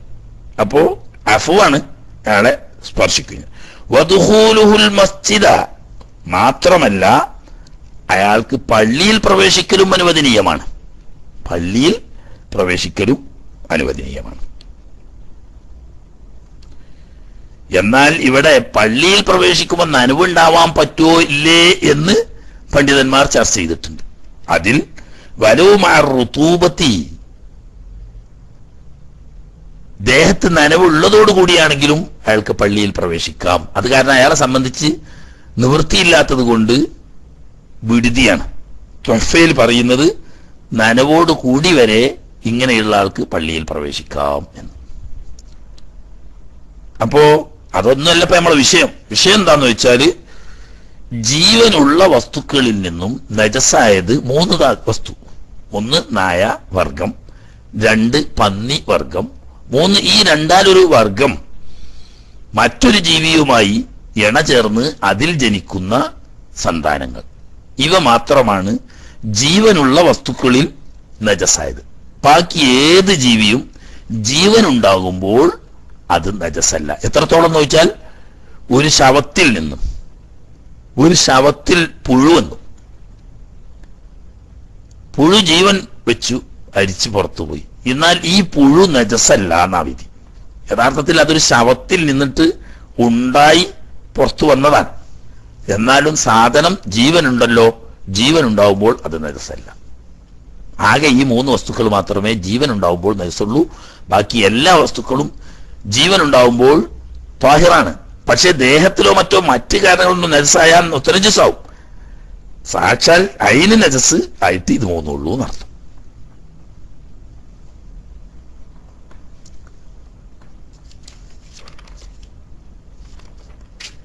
ഇനി നജസ്സുകൾ തന്നെ ജീവനില്ലാത്ത നജസ്സുകൾ ജീവികളുടെ ദേഹത്തിൽ നിന്നും വേർപെട്ടു പോരുന്ന അവശിഷ്ടങ്ങൾ. ആ അവശിഷ്ടങ്ങൾ നജസായിട്ടുള്ള കുറെ വസ്തുക്കളുണ്ട്. അവയാണ് ഇനി പറയാനുള്ളത്. അവിടെ നിന്നോട്ടെ ചെന്ന് കുറച്ച് നേരത്തെ പാഠം നിർത്തണം എന്ന് ഉദ്ദേശമുണ്ട്. ഒരു മൂന്നേക്കാലോടുകൂടി ഇൻഷാല്ല ഇന്നത്തെ ക്ലാസ് മൂന്നേ പത്തിന് അവസാനിപ്പിക്കേണ്ട ചെറിയൊരു ആവശ്യമുണ്ട്. അതുകൊണ്ട് ഇപ്പൊ തൽക്കാലം അവിടെ നിൽക്കട്ടെ. ഇനി ഇൻഷാല്ല റബ്ബ് തോഫീക്ക് ചെയ്തെങ്കിൽ ശനിയാഴ്ച തുടർന്ന് ഉള്ള ഭാഗം നജസുമായി ബന്ധപ്പെട്ട കാര്യങ്ങൾ പറയാ. കുറച്ച് സമയം. ഒരു മൂന്ന് പത്ത് വരെയുള്ള സമയം ഇൻഷാല്ല നമുക്ക് സംശയ നിവാരണമായിട്ട് മൂന്നേ പത്ത് കാരണം ഇവിടുത്തെ സമയം പറയേണ്ടത്. സൗദിയിലെ മൂന്നേ പത്ത്. സാധാരണ നമ്മൾ നാല് മണി വരെ ഉണ്ടാവാറുണ്ട്. ഇന്ന് അത് കുറച്ച് നേരത്തെ നിർത്തേണ്ട ആവശ്യമുള്ളത് കൊണ്ട് നേരത്തെ നിർത്തും. അതുകൊണ്ട് പാഠം അവിടെ നിർത്തി. ഇനി കുറച്ച് സമയം സംശയം ചോദിക്കുന്നവർക്ക് വേണ്ടി അത്യാവശ്യപ്പെട്ട കാര്യങ്ങൾ പഠിക്കാൻ വേണ്ട കാര്യങ്ങൾ ചോദിക്കാവുന്ന സമയവും കുറവാണ്. പ്രായോഗികമായ വിഷയങ്ങൾ ആയിട്ട് ബന്ധപ്പെട്ട കാര്യങ്ങൾ ചോദിക്കാം അള്ളാഹു സുബാനുഭവത്തേല നമ്മളുടെ ഇൽമ് നാഫിയായ ഇൽമ് അള്ളാഹുത്തേല നമുക്കൊക്കെ നൽകുമാറാകട്ടെ എന്ന് ദുആ ചെയ്ത് ചോദ്യകർത്താക്കൾക്ക് വേണ്ടി മൈക്ക് കൈമാറുന്നു അസ്സലാമലൈക്കും വറഹമത്തുള്ള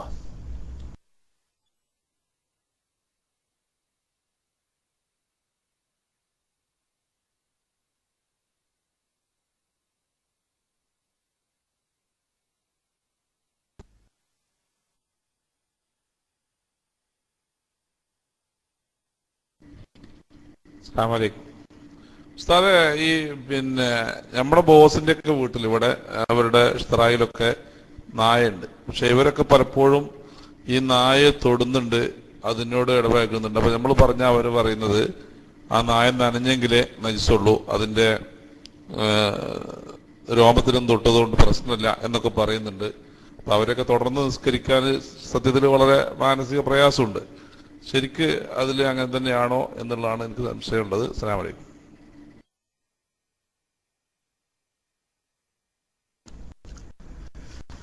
വാലൈക്കും അസ്സലാം. ആ. നായ നജസാണ് അതിന് നജസാണ് എന്നാൽ ഈ നജസായ നായയെ തൊട്ടാൽ തൊട്ട വസ്തു അല്ലെങ്കിൽ തൊട്ട വ്യക്തി നജസ്സാവണമെങ്കിൽ രണ്ടാലൊന്നിന് നനവുണ്ടാവണം. സാധന നജസ് തന്നെയാണ്. നായ എപ്പോഴും നജസ് തന്നെയാണ്. പക്ഷേ ഈ നജസ്സായ നായയെ നാം കൈകൊണ്ട് തൊടുകയോ അല്ലെങ്കിൽ നമ്മുടെ ശരീരത്തിന്റെ ഭാഗമോ വസ്ത്രത്തിന്റെ ഭാഗമോ ഈ നായയുടെ ശരീരത്തിൽ തട്ടുകയോ ചെയ്താൽ രണ്ടാൽ ഒന്നിന് നജസ് നനവുണ്ടെങ്കിൽ മാത്രമേ തൊട്ട വ്യക്തി നജസ്സാവുള്ളൂ അല്ലെങ്കിൽ തൊട്ട സ്ഥലം. ഇപ്പൊ ഉദാഹരണം നമ്മളെ ഉടുത്ത വസ്ത്രം നമ്മൾ തോപ്പിട്ടൊക്കെ ചെയ്യുന്നു ആ തോപ്പിന്റെ ഭാഗം നായ ഓടിയപ്പോൾ നമ്മളെ ശരീരത്തിലൂടെ ചാരി അങ്ങോട്ട് ഓടി. അപ്പൊ നമ്മളെ തോപ്പുമ തട്ടി. അതല്ലെങ്കിൽ നമ്മൾ കൈയോട് തൊട്ടു. ഇങ്ങനെയൊക്കെ ആവുമ്പോൾ രണ്ടാലൊരു ഭാഗത്ത് നിരസുണ്ടെങ്കിൽ ഈ തൊട്ട ഭാഗം നിരസാവും. രണ്ടും നിരസില്ല. അല്ല നനവില്ല. നായയുടെ ദേഹത്തിലും നനവില്ല. തൊട്ട നമ്മുടെ ശരീരഭാഗത്തിലും നനവില്ലെങ്കിൽ അതുകൊണ്ട് ഈ തൊട്ട വ്യക്തി നിരസാകുന്നില്ല. അത് പലർക്കും അറിയാത്തൊരു ഇൽമാണ്. പക്ഷേ കിതാബിൽ വളരെ വ്യക്തമായി തന്നെ പറഞ്ഞിട്ടുണ്ട്. രണ്ടാലൊന്നിന് നനവുണ്ടായിരിക്കണം അപ്പോൾ പക്ഷേ ഒരു കാര്യം മനസ്സിലാക്കേണ്ടത് നായയുടെ മൂക്ക് അതിന്റെ വായ എന്നിവ ഇരുപത്തിനാല് മണിക്കൂറും ഒരു തരം വിയർപ്പ് കൊണ്ടിട്ട് എപ്പോഴും നനവുണ്ടാവും. അതുകൊണ്ട് ഇതിന്റെ മുഖം നമ്മുടെ ദേഹത്തിലോ വസ്ത്രത്തിലോ അതല്ലെങ്കിൽ മറ്റേതെങ്കിലും സ്ഥലത്തോ ആയാൽ അവിടെ നിരസാവുന്നുള്ള ഉറപ്പ്. കാരണം എന്താണ്? അത് ഉണങ്ങൂല. അത് ആ സാധനം ജീവിച്ചിരിക്കുന്ന സമയത്ത് എപ്പോഴും ഉള്ള ഒരു പ്രത്യേകതയാണ് നായന്റെ മൂക്കിന് എപ്പോഴും ഒരു വിയർപ്പുണ്ടാവും. അതുപോലെ തന്നെ അതിന്റെ വായിലും. അപ്പൊ വായോ മൂക്കോ നമ്മുടെ ശരീരത്തിലോ വസ്ത്രത്തിലോ തൊട്ടാൽ അവിടെ നജസാവും. അത് നിബന്ധന പ്രകാരം ഏഴും ഒരു പ്രാവശ്യം മണ്ണ് കലങ്ങിയ മണ്ണ് ഉൾപ്പെടെ ഏഴ് പ്രാവശ്യം കഴുകൽ നിർബന്ധമാണ്. അതില്ല രണ്ടും നനവില്ല. ഉദാഹരണം അതിന്റെ രോമത്തിന് മത്സരം ഇങ്ങനെ തൊട്ടിട്ടേ ഉള്ളൂ. രോമം അതും നനഞ്ഞിട്ടില്ല നമ്മളെ കയ്യും നനവില്ല. എന്നാൽ അതുകൊണ്ട് തൊട്ട ഭാഗം നരസാവുകയില്ല ഓക്കെ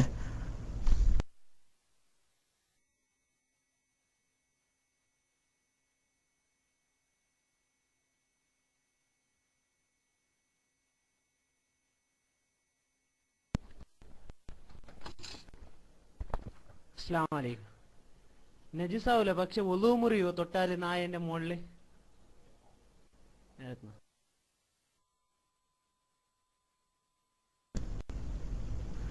ഇല്ല തൊട്ടാൽ ഉതു എന്തായാലും മുറിയില്ല.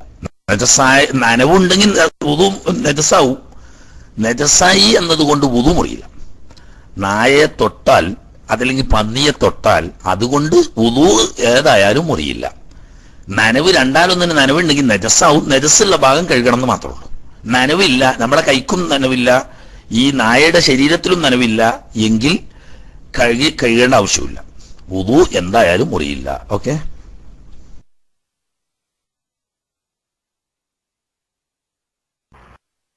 അസ്സാം ഡ്രൈനേജ് വെള്ളം അത് ഒന്ന് ഡ്രൈനേജ് ക്ലീൻ ചെയ്തിട്ട് മുനിസിപ്പാലിറ്റിന്റെ ഈ ചെടിക്കെല്ലാം അടിക്കാറുണ്ട്. അതുപോലെ പുല്ലിലെല്ലാം. ആ പുല്ലിൽ ചില ആൾ നിസ്കരിക്കുന്ന കാണാം. പക്ഷെ ആ വെള്ളം റോഡിലെ പോകുമ്പോൾ നമ്മൾക്ക് സ്പ്രേ ആയിട്ട് ചില മോട്ടോർ സൈക്കിളൊക്കെ ഞാൻ പോകുമ്പോൾ അങ്ങനെ തെറിക്കാറുണ്ട്. അപ്പൊ തെറിച്ചാൽ ഉണങ്ങുന്നുണ്ട്. പക്ഷെ അങ്ങനെ ചിലർ ദുബൈയിലൊക്കെ അങ്ങനെ സ്മെല്ലുണ്ടാറില്ല ഷാർജയിലൊക്കെ ഭയങ്കര കട്ട സ്മെല്ലാണ് നജസ്ന്ന് ശുദ്ധീകരിച്ച വെള്ളമാണ് അതിന്റെ ഒരു വിധി എന്താ ഉസ്താദെ? അത് നജസാവോ അല്ലെങ്കിൽ അത് കഴുകി കളയണോ എന്നാണ് എനിക്കറിയേണ്ടത്. അസ്സാം വലൈക്കും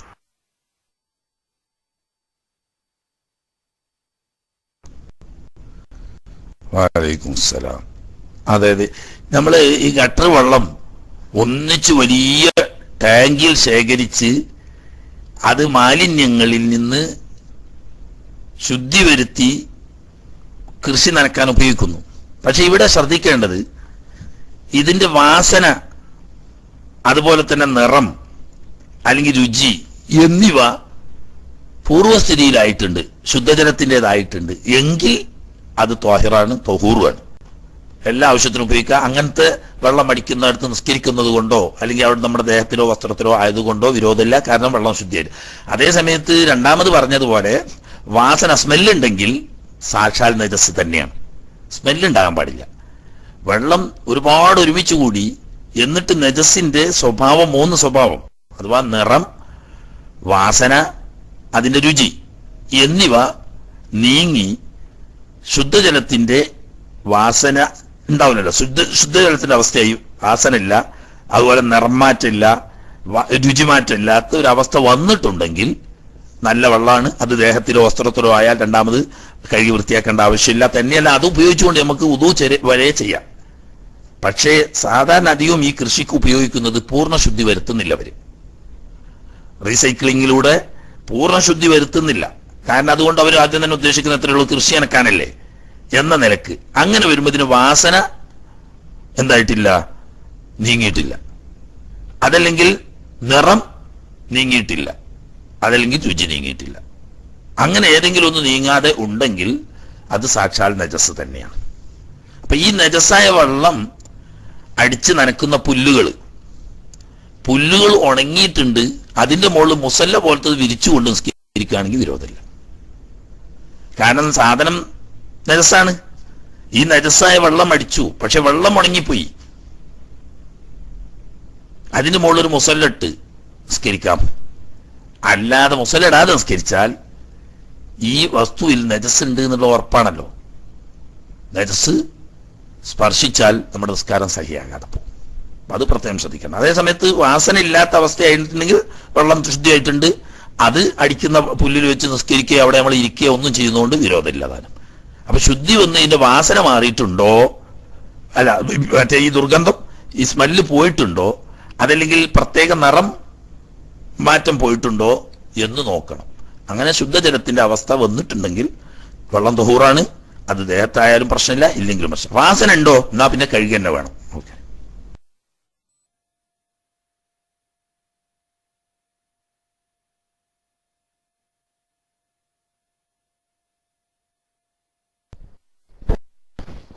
വലൈക്കും വാഹമത്തുള്ള കേൾക്കാമോ?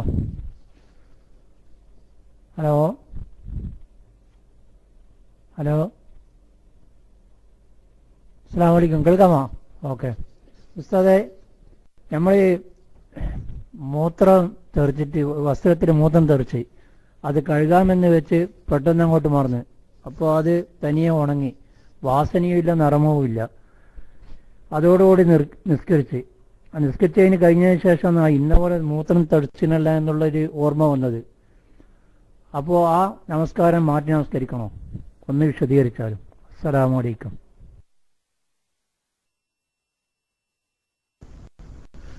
വാലൈക്കും അസ്സലാം ആ അത് പലപ്പോഴും സംഭവിക്കാൻ സാധ്യതയുള്ള ഒരു വിഷയമാണ്.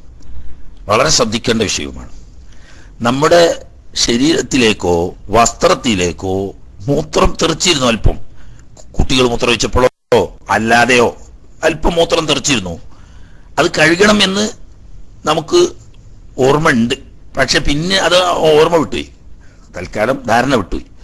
ഓണങ്ങിയും ചെയ്തു. ഇനി നോക്കിയിട്ട് കാണുന്നുമില്ല വാസനിച്ച വാസനയൊന്നുമില്ല. അങ്ങനെ ഈ വസ്ത്രം ഉടുത്തുകൊണ്ട് നിസ്കരിക്കുകയും ചെയ്തു. നിസ്കരിച്ചു കഴിഞ്ഞതിന് ശേഷം പിന്നെയാണ് ഈ വസ്ത്രത്തിൽ ഇങ്ങനെ മൂത്രമായിരുന്നല്ലോ അത് കഴുകിയിട്ടില്ലല്ലോ എന്ന ഓർമ്മ വരുന്നത്. എന്നാൽ ഈ നിസ്കരിച്ച നിസ്കാരം സഹിഹല്ല. രണ്ടാമത് നജസിൽ നീക്കി അല്ലെങ്കിൽ ഈ വസ്ത്രം മാറ്റി മറ്റ് നജസില്ലാത്ത വസ്ത്രം ധരിച്ചുകൊണ്ട് രണ്ടാമത് മടക്കി നിസ്കരിക്കണം. അത് മനഃപൂർവമല്ലാത്തത് കൊണ്ട് നേരത്തെ നിസ്കരിച്ചതിന്റെ പേരിൽ ഹറാമിന്റെ കുറ്റുണ്ടാവില്ല. പക്ഷേ ഷർത്ത് ഇല്ലാത്തത് കൊണ്ട് നിസ്കാരം സഹിയല്ല അതുകൊണ്ട് മടക്കി നിസ്കരിക്കണം. മനഃപൂർവം അല്ലല്ലോ ചെയ്തത് എന്നൊരു പ്രശ്നം ഉണ്ടതിന് അതുകൊണ്ട് തന്നെയാണ് അതിന് ചെയ്തതിന് കുറ്റമില്ല. പക്ഷേ നിസ്കാരം സഹിയായിട്ടില്ല വേറെ നിസ്കരിക്കണം. അതേസമയത്ത് മനഃപൂർവമാണെങ്കിൽ നിസ്കാരം ഇട്ട് സഹിയാവുകയുമില്ല ഹറാമിന്റെ കുറ്റം ഉണ്ടാവും ഇതേ ഒരു വ്യത്യാസമുള്ളൂ. അപ്പൊ ചോദ്യത്തിൽ ഓർമ്മയില്ലാതെയാണ് നിസ്കരിച്ചത്. ഉണ്ട് എന്ന കാര്യം ഓർമ്മയില്ലാതെയാണ് നിസ്കരിച്ചത്. പിന്നീട് ഓർമ്മ വന്നു. അപ്പോൾ രണ്ടാമത് നജസില്ലാത്ത വസ്ത്രം ധരിച്ചുകൊണ്ട് മടക്കി നിസ്കരിക്കണം നേരത്തെ നിസ്കാരം സഹിയായിട്ടില്ല. അത്രയേ ഉള്ളൂ. അതേസമയത്ത് മനഃപൂർവമായിരുന്നു എങ്കിൽ നിസ്കാരമായിട്ട് സഹിയാവൂല്ല രണ്ടാമത് മടക്കി നിസ്കരിക്കൽ ഉജൂബുമാണ് അതിന്റെ പുറമെ നജസോട് കൂടി നിസ്കരിച്ചതിന് ഹറാമിന്റെ കുറ്റം ഉണ്ടാവുകയും ചെയ്യും. ഓക്കെ? അപ്പൊ അങ്ങനെ വന്നാൽ കാരണം മറ്റ് ഉള്ളത് ഷർത്തിനൊരു പ്രത്യേകത ഉള്ളത് എന്താണെന്ന് വെച്ചാൽ അറിഞ്ഞു ചെയ്താലും അറിയാതെ ചെയ്താലും ഷർത്തിന് ഭംഗം വരുന്നത് അറിഞ്ഞാണെങ്കിലും അറിയാതെയാണെങ്കിലും ഈ കാര്യം പരിഗണിക്കാതെ പോകും. കാരണം ആ കാര്യത്തിനുള്ള ഡിമാൻഡാണല്ലോ ആണല്ലോ ഏ പരിഗണിക്കാനുള്ള നിബന്ധന ഉപാധിയാണല്ലോ. ആ ഉപാധി ഇല്ലാതെ ആയതുകൊണ്ട് പരിഗണിക്കപ്പെടുന്നില്ല അഥവാ സഹിയാകുന്നില്ല. ഓക്കെ.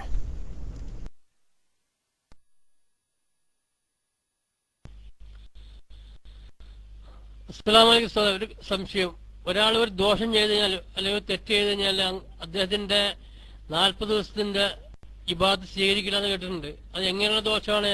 എന്താണെന്ന് വ്യക്തമാക്കാൻ പറ്റും സർ?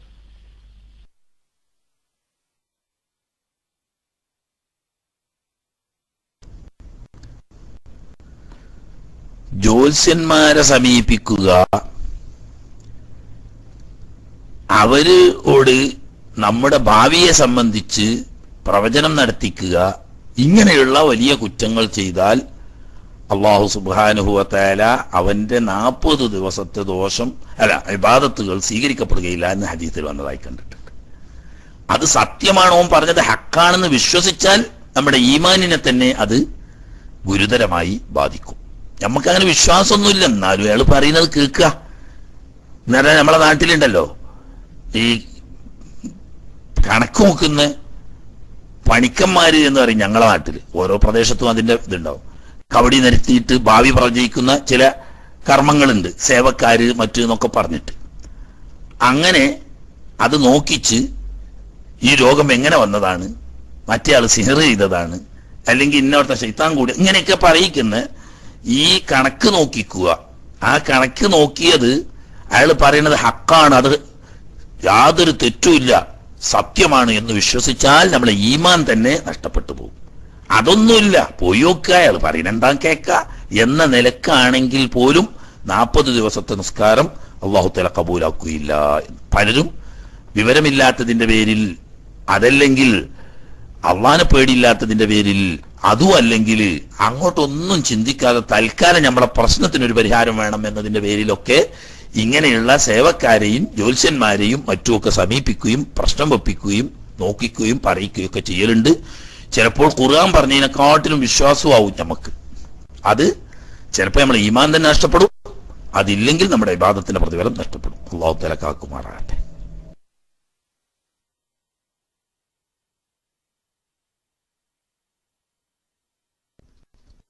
അസ്സാം വലൈക്കും ചോദ്യം.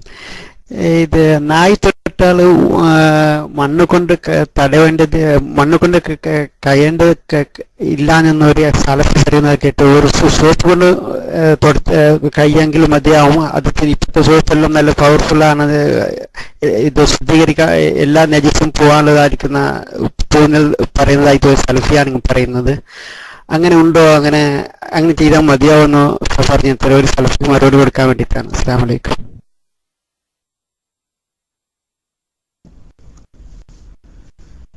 അത് സുഹൃത്തെ യുക്തിവാദാണ്. യുക്തിവാദാണ്. യുക്തിവാദത്തിന്റെ പിന്നിൽ നമ്മൾ പോയിട്ട് കാര്യമില്ല. യുക്തിവാദം നമ്മളെ കലാനാഥൻ മാസ്റ്ററും അവരെ അബ്ദുൽ അലി മാസ്റ്ററും ഒക്കെ ഓല മതാണ് അത് ഇസ്ലാമിന്റെ മതമല്ല. ഇസ്ലാമിന്റെ മതം എന്ന് പറഞ്ഞാൽ മഹാനായ മുഹമ്മദ് റസൂലുള്ളാഹി സ്വല്ലല്ലാഹു അലൈഹി വസല്ലമ തങ്ങൾ പറഞ്ഞത് ഇതാ വലഅൽ കൽബു ഫീ ഇനായി അഹദിക്കും ഫഗ്സിലുഹാ സബഅ മറാത്ത് വഅഫിറുഹുന്ന ബിത്തുറാ നിങ്ങളുടെ പാത്രത്തിൽ നായ തലയിട്ടാൽ ഏഴ് പ്രാവശ്യം നിങ്ങൾ അത് കഴുകണം ഒരു പ്രാവശ്യം മണ്ണ് കലർത്തിയിരിക്കണം എന്ന് വളരെ വ്യക്തമായി ഒരു വ്യാഖ്യാനത്തിനും പഴുതില്ലാതെ മഹാനായ നബി സല്ലല്ലാഹു അലൈഹി വസല്ലമ തങ്ങൾ പറഞ്ഞതാണ്. അപ്പൊ അതുകൊണ്ട് മണ്ണ് കലങ്ങിയ വെള്ളം എന്ന് പറയാൻ നമ്മുടെ നാട്ടിലൊക്കെ ആണെങ്കിൽ കുളം തോട് പോലത്തെ സ്ഥലത്തുനിന്ന് അടിയിൽ അല്പം കാലുകൊണ്ട് ചവിട്ടി ഇളക്കി മണ്ണ് കലങ്ങി വെള്ളം കലക്ക് വന്നാൽ മതി.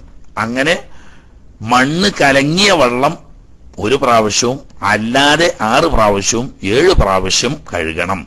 ഒരു പ്രാവശ്യം കലങ്ങിയ വെള്ളവും ബാക്കി ആറ് പ്രാവശ്യം അല്ലാത്ത വെള്ളവും. ഏഴ് പ്രാവശ്യം കലങ്ങിയ വെള്ളമായാലും വിരോധമില്ല കേട്ടോ ഒരു പ്രാവശ്യമെങ്കിലും മണ്ണ് കലങ്ങിയ വെള്ളം ഉണ്ടായിരിക്കണം. അത് നമുക്ക് വരാൻ പോകുന്നുള്ളൂ ആ പാഠം. അത് നബ്സല്ലാ അലൈഹി സ്വലം തങ്ങൾ വളരെ വ്യക്തമായി പറഞ്ഞ കാര്യമാണ്.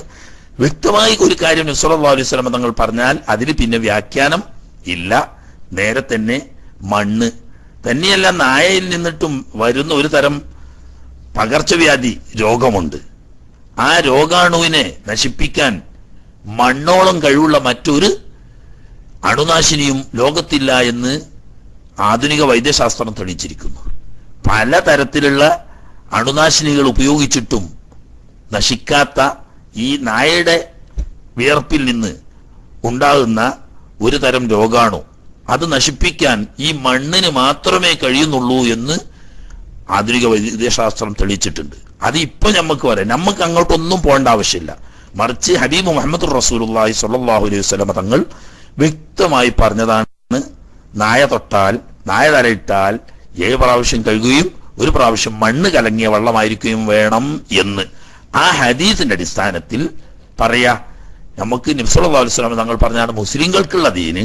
അതുകൊണ്ട് മുസ്ലിങ്ങൾ മണ്ണ് കലങ്ങിയ വെള്ളം ഉപയോഗിച്ചെങ്കിലേ നായ തൊട്ട് നജസായ സാധനം ശുദ്ധിയാവുള്ളൂ ഓക്കെ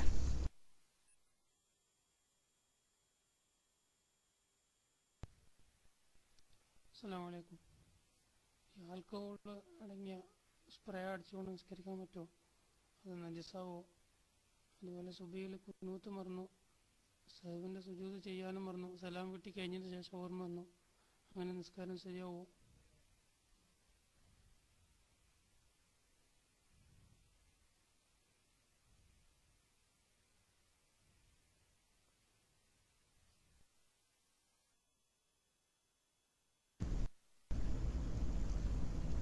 സുഹൃത്തിന്റെ ശബ്ദം തീരെ കേൾക്കുന്നില്ല കേട്ടോ വളരെ വളരെ ഞാൻ ഉള്ള ഫുള്ള് സൗണ്ട് ഇട്ടിട്ടും തന്നെ അങ്ങോട്ട് തിരിയണില്ല. അത് കൊണ്ട് ശബ്ദങ്ങൾ ഒന്നുകൂടി ചെക്ക് ചെയ്യുക. അല്ല ഞാൻ കേൾക്കൂലല്ലോ. ഇത്രയും ആളുകൾ കേട്ടിരിക്കുകയാണ് അവർക്കുമാണല്ലോ കേൾക്കുക. അതുകൊണ്ട് നിങ്ങളെ ശബ്ദം തീരെ കുറവായിരുന്നു.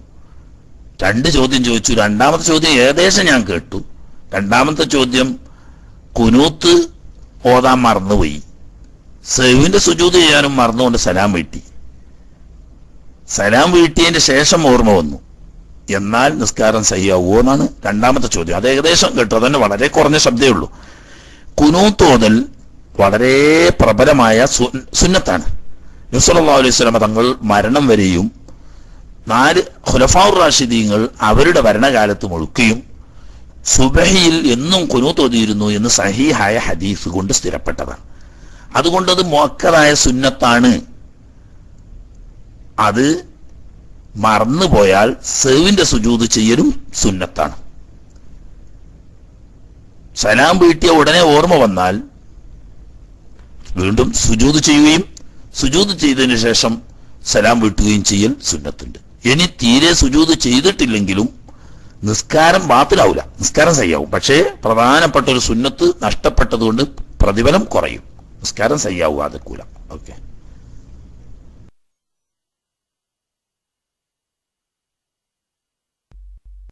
അസ്സാം എന്റെ ചോദ്യം. നമ്മുടെ ഈ അറ- അറബ് നാടുകളിൽ പൊതുവെ കണ്ടുവരാറുണ്ട് ഈ സൗദികളും പൊതുവെ ഈ നിസ്കാരത്തിന്റെ ഇടയിൽ കീശയിൽ നിന്ന് അറാക്ക് എടുത്തിട്ട് പല്ല് തേക്കുക. അതുപോലെ മനാദിയിൽ എടുത്തിട്ട് മുഖം തുടയ്ക്കുക അതുപോലെ കുട്ടികളെ കൂടെ സ്കരിക്കാൻ കൊണ്ടുവന്നിട്ട് അവരെ പിടിച്ച് അങ്ങോട്ട് മാറ്റി ഇങ്ങോട്ട് മാറ്റി മൊത്തം ശരീരം ഇളകുന്നത് നമ്മൾ കാണാറുണ്ട്. അപ്പൊ ഇത്തരത്തിൽ നമ്മളൊരു ഇമാമ് തന്നെ ഈ രീതിയിൽ പ്രവൃത്തി ചെയ്ത് ചെയ്യുമ്പോൾ ആ ഇമാമിനെ നമ്മൾ തുടർന്നു കഴിഞ്ഞാൽ നമ്മൾ കാണുന്നുണ്ട് ഇമാം ഇങ്ങനത്തെ പ്രവൃത്തികൾ പല്ല് വെക്കുന്നത് അല്ലെങ്കിൽ ടിഷ്യൂ ഉപയോഗിക്കുന്നത്. അങ്ങനെ തുടർന്നു കഴിഞ്ഞാൽ നമ്മുടെ നിസ്കാരം ശരിയാവുമോ അതല്ല ആ ജമാഅത്ത് ജമാഅത്ത് മാത്രമേ നഷ്ടപ്പെടുള്ളൂ അതല്ല നിസ്കാരം തന്നെ മടക്കി നിസ്കരിക്കണോ എന്നുള്ളതൊന്ന് പറഞ്ഞ അന്നേരം അസ്സലാം വലൈക്കും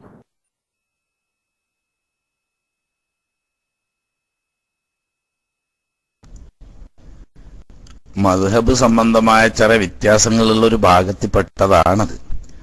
അതായത് നമ്മളെ ഷാഫി മധുഹബ് അനുസരിച്ച് തുടർച്ചയായി മൂന്നനക്കം വന്നാൽ നിസ്കാരം പാത്തില്ല തുടർച്ചയായി മൂന്നനക്കം എന്ന് പറഞ്ഞാൽ ഒന്നായിട്ട് ഇടമുറിയാതെ മൂന്നോട്ടം അണിഞ്ഞാൽ നിസ്കാരം പാത്തില്ല അതേസമയത്ത് ഹംബലി മധുഹബുകാരെ സംബന്ധിച്ച് ഒന്ന് രണ്ട് മൂന്ന് എന്ന എണ്ണൊന്നുമില്ല. പൊതുവെ നാട്ടു നടപ്പനുസരിച്ച് അധികരിച്ച പ്രവൃത്തി എന്ന് പറയുന്നത് തുടർച്ചയായി ചെയ്താൽ നിസ്കാരം പാത്തിലാവുന്നു നമ്മളെ മതബിലും പറയുന്ന അധികരിച്ച പ്രവൃത്തി ഉണ്ടായാൽ നിസ്കാരം പാത്തിലാവുന്ന തന്നെയാണ്. അവരെ മതബിലും അധികരിച്ച പ്രവൃത്തി ചെയ്താൽ നിസ്കാരം പാത്തിലാവുന്ന തന്നെ. പക്ഷേ ഈ അധികരിച്ചത് എന്താണ് എന്ന് നിർണയിക്കുന്നതിൽ രണ്ട് മധബും തമ്മിൽ വ്യത്യാസമുണ്ട്. നമ്മളെ മതബിൽ മൂന്ന് പ്രവൃത്തി തുടർച്ചയായാൽ അത് അധികരിച്ചതാണ്. ഒരു പ്രവൃത്തി മാത്രമാണെങ്കിൽ അത് ചുരുങ്ങിയതുമാണ്. രണ്ട് അധികരിച്ചതാണെന്നും പറയാൻ കഴിയില്ല കുറഞ്ഞതാണെന്നും ഉറപ്പ് പറയാൻ കഴിയില്ല. അതുകൊണ്ട് കുറഞ്ഞതിന്റെ വിധി കൊടുത്തു. അപ്പൊ ഒന്നോ രണ്ടോ വട്ടം തുടർച്ചയായി അനങ്ങിയാൽ അതുകൊണ്ട് നിസ്കാരം പാത്തിലാവില്ല നമ്മളെ മതബിൽ അവരെ മതബിൽ ഒന്ന് രണ്ട് മൂന്ന് എണ്ണൊന്നും അല്ല കണക്ക്. നാട്ടുനടപ്പ് ഓരോ പ്രദേശത്തിന്റെയും നാട്ടു നടപ്പനുസരിച്ച് അധികരിച്ച പ്രവൃത്തിയാണ് എന്ന് പറയാൻ പറ്റുന്ന കാര്യം തുടർച്ചയായി ചെയ്താലേ നിസ്കാരം പാത്തിലാവുള്ളൂ അപ്പോൾ അവരെ നിൽക്കൽ അങ്ങനെ അധികരിച്ച പ്രവൃത്തി ആയിട്ടില്ലായിരിക്കും അധികരിച്ച പ്രവൃത്തി ആയിട്ടില്ലെങ്കിൽ ഓരോ നിസ്കാരം ബാത്തിലാവില്ല അങ്ങനെ നമുക്ക് തുടർച്ചയായിട്ട് ഇടമുറിയാതെ മൂന്ന് പ്രവൃത്തി ചെയ്താൽ നിസ്കാരം ബാത്തിലാവുന്നതാണ് നമ്മളെ മദ്ഹബ്. അത് ഏതുകൊണ്ടാണെങ്കിലും അധികരിച്ച പ്രവൃത്തി. അതേസമയത്ത് വിരൽ മാത്രം അനക്കുന്നത് കണ്ണിന്റെ പോളകൾ മാത്രം അനക്കുന്നത് പോലത്തത് കൊണ്ടാണെങ്കിൽ നിസ്കാരം ബാത്തിലാവുക ഇല്ല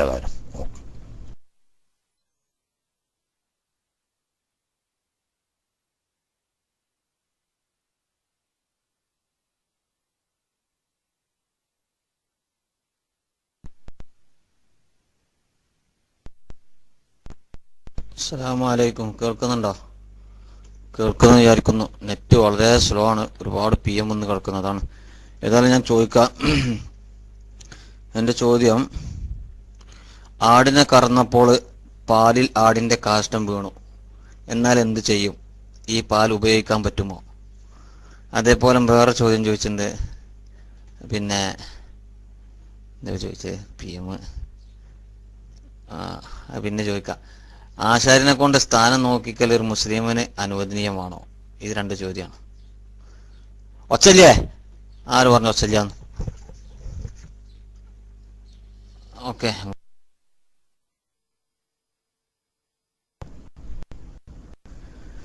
ഒച്ച ഉള്ളൂ ഈ എവിടെ ഒച്ചില്ലാതെ ഈ ചീരി ഞാനൊക്കെ പറഞ്ഞിട്ട് ഒച്ചില്ലാന്ന് പറഞ്ഞു പിന്നെ ഇവിടെ സിസ്റ്റത്തിൽ ആർക്കാണ് ഒച്ച ഉള്ളത് പക്ഷെ രണ്ട് മസാലയും തമ്മിൽ ഒലക്കിയും പാന്ത് വെച്ച് കൂട്ടിയേക്ക. യാതൊരു ബന്ധവുമില്ല. ഒന്ന് ആടിനെ കറക്കുന്ന മസാലയെ മറ്റൊന്ന് അശരി കുറ്റിയടിക്കണ മസാലയാണ്. രണ്ടും തമ്മിൽ മുനാസഭത്തൊന്നുമില്ല ആട്ടെ. ആട്ടിന്റെ കാട്ടം എന്നത് ജാമിതായ ഉറച്ച നജസുകളിൽപ്പെട്ടതാണ് അത് പാലിൽ വീണാൽ ഉടനെ എടുത്തു മാറ്റിയാൽ മതി. അതിൽ കലങ്ങി ചേരാത്ത നിലയ്ക്ക് വീണ ഉടനെ എടുത്തു മാറ്റിയാൽ പാൽ ഉപയോഗിക്കുന്നത് കൊണ്ട് വിരോധമില്ല. അതേ സമയത്ത് അതിനെ വീണ് ശ്രദ്ധയപ്പെട്ടില്ല. അതങ്ങനെ അതിൽ ലയിച്ചു പോയി. എന്നാൽ പിന്നെ ആ പാൽ ഉപയോഗിക്കാൻ പാടില്ല. ഓക്കെ. പിന്നെ ആശാരിനോട് സ്ഥാനം നോക്കിക്കുക എന്ന് പറഞ്ഞാൽ അപ്പം എന്താ കൊണ്ടുള്ള ഉദ്ദേശം? എനിക്ക് മനസ്സിലായില്ല. ആശാരി സ്ഥാനം നോക്കുക എന്ന് പറഞ്ഞാലും എഞ്ചിനീയർ സ്ഥാനം നോക്കുക എന്ന് പറഞ്ഞാലും ഒക്കെ ഭൂമിയുടെ കിടപ്പും നീരൊഴുക്കും അതുപോലെ തന്നെ കാറ്റിന്റെ ആ ഭാഗത്തെ നീക്കവും ഒക്കെ അനുസരിച്ച് ഈ വീട്ടിന്റെ സുരക്ഷക്കും വീട്ടിൽ ജീവിക്കുന്നവരുടെ ആരോഗ്യപരമായ ജീവിതത്തിനും അനുഗുണമായ നിലയ്ക്ക് നീരൊഴുക്കും അതുപോലെ തന്നെ വായു നീക്കവും ഒക്കെ പരിഗണിച്ചുകൊണ്ട് അതിന് പറ്റുന്ന രീതിയിൽ വീട്ടിന്റെ കിടപ്പ് നിർണയിക്കുന്നതാണ്. അതിൽ വിശ്വാസപരമായ കാര്യങ്ങളൊന്നുമില്ല. ബാഹ്യമായ ആരോഗ്യപരമായ ചില കാര്യങ്ങളാണ് അതിൽ പരിഗണിക്കുന്നത്. അത് ഭൂമിശാസ്ത്ര സംബന്ധമായ അറിവുള്ള എഞ്ചിനീയർ ആയാലും വേണ്ടിയില്ല. ചില ഉസ്താദന്മാരുണ്ട് ആ ഉസ്താദന്മാരായാലും വേണ്ടിയില്ല. ആശാരിമാരുണ്ട് അവരായാലും വേണ്ടിയില്ല. ഇതിലൊക്കെ ഉദ്ദേശപത്രേ ഉള്ളൂ. ഭൂമിയുടെ കിടപ്പ് നീരൊഴുക്ക് എങ്ങോട്ടാണ്? അതനുസരിച്ച് ഇവിടെ ഏത് രീതിയിലാണ് വീടെടുക്കുന്നത് നന്നാവുക? അതുപോലെ തന്നെ ഇവിടുത്തെ കാറ്റിന്റെ ശൈലി ഏത് രീതിയിൽ വരും? അതനുസരിച്ച് വീട്ടിന്റെ മുഖവും അതുപോലെ തന്നെ വീട്ടിന്റെ ഷൈപ്പും ഒക്കെ ഏത് രീതിയിലാക്കുന്നതാണ് നല്ലത്? എന്ന് നോക്കുന്ന രീതിയിലുള്ള നോട്ടം ആശാരി നോക്കിയാലും വിരോധമല്ല എഞ്ചിനീയർ നോക്കിയാലും വിരോധമല്ല ഉസ്താദ് നോക്കിയാലും വിരോധമല്ല. അതല്ലാതെ ഇതിന്റെ പിന്നിൽ ചില പൂജകളും കർമ്മങ്ങളും ഒക്കെ നടത്തിക്കൊണ്ട് ഉള്ള എന്തോ അന്ധവിശ്വാസങ്ങൾ ഇതിന്റെ പിന്നിൽ കലരുന്നുണ്ടെങ്കിൽ അത് ആരായാലും എഞ്ചിനീയർ ആയാലും ആശാരി ആയാലും ഉസ്താദ് ആയാലും ഒക്കെ തെറ്റുകയാണ് അത്രേ ഉള്ളൂ. അപ്പൊ എങ്ങനെ ചെയ്യണത് നോക്കി സാധാരണഗതിയിൽ ഇവിടെ ആശാരിമാര് ഭൂമിശാസ്ത്രമായിട്ട് കുറച്ച് അത് സംബന്ധമായി കെട്ടിടത്തിന്റെ നിയമങ്ങളും വ്യവസ്ഥയും ഒക്കെ പഠിച്ച ആളുകൾ അതിനനുസരിച്ചുള്ള കുറ്റിയടിയും സ്ഥാനം നിർണയിക്കലും ഒക്കെയാണ് നടക്കുന്നത്. അതിനാണെങ്കിൽ വിരോധമില്ല. അതല്ലാതെ വല്ല പൂജ്യം ആചാരവും മറ്റുമൊക്കെ വെച്ചുകൊണ്ടുള്ളതാണെങ്കിൽ അത് നമ്മളെ സംബന്ധിച്ച് പാടില്ല.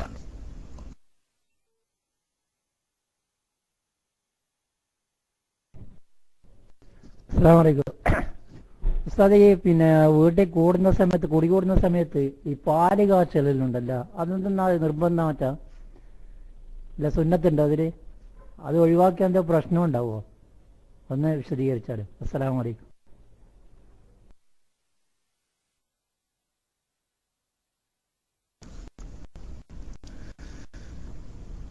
അതൊന്നും പത്തിൽ പ്രധാനപ്പെട്ട നമ്മളിപ്പോ നജസ് സംബന്ധമായ നിസ്കാരത്തിന്റെ സർത്ത പറഞ്ഞുകൊണ്ടിരിക്കുന്നത്. അതിന്റെ ഇടക്കിന്റെ കീശീരിയാണ് ഇപ്പൊ അത് കേറിക്കാണ്ട് ആകെ കൊളാക്കി കേട്ടാ കിശിരി കിശിരി പോയോ?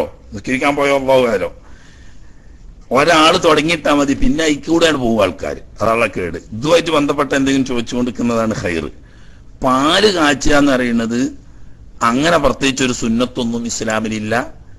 എന്നാൽ അത് ഉജൂബും സുന്നത്തൊന്നും ഇല്ലെങ്കിലും ഹറാമാന്ന് പറയുകയാണെങ്കിൽ അതിന് പ്രത്യേക ആചാര അടിസ്ഥാനത്തിലാണെങ്കിൽ അങ്ങനെ ഒരു ആചാരം ഇസ്ലാമിലില്ല. എന്നാൽ പാൽ ഭക്ഷ്യവിഭവങ്ങളിൽ അള്ളാഹു സുബാനുവത്തല ഏറ്റവും പ്രശംസിച്ച് പറഞ്ഞ പാലാണ്. പാൽ അള്ളാഹുത്തല ഏറ്റവും പ്രശംസിച്ച് പറഞ്ഞ ഷറാബൻ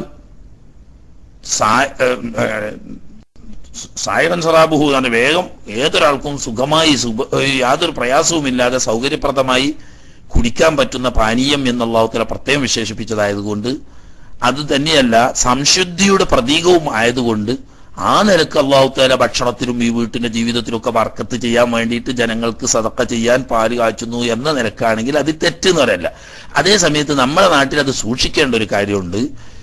മറ്റ് സമുദായക്കാര് പാൽ കാച്ചൽ കർമ്മം എന്ന് പറഞ്ഞിട്ട് ഒരു പ്രത്യേക കർമ്മം തന്നെ ഒരു ചടങ്ങായി നിർവഹിക്കുന്നുണ്ട്.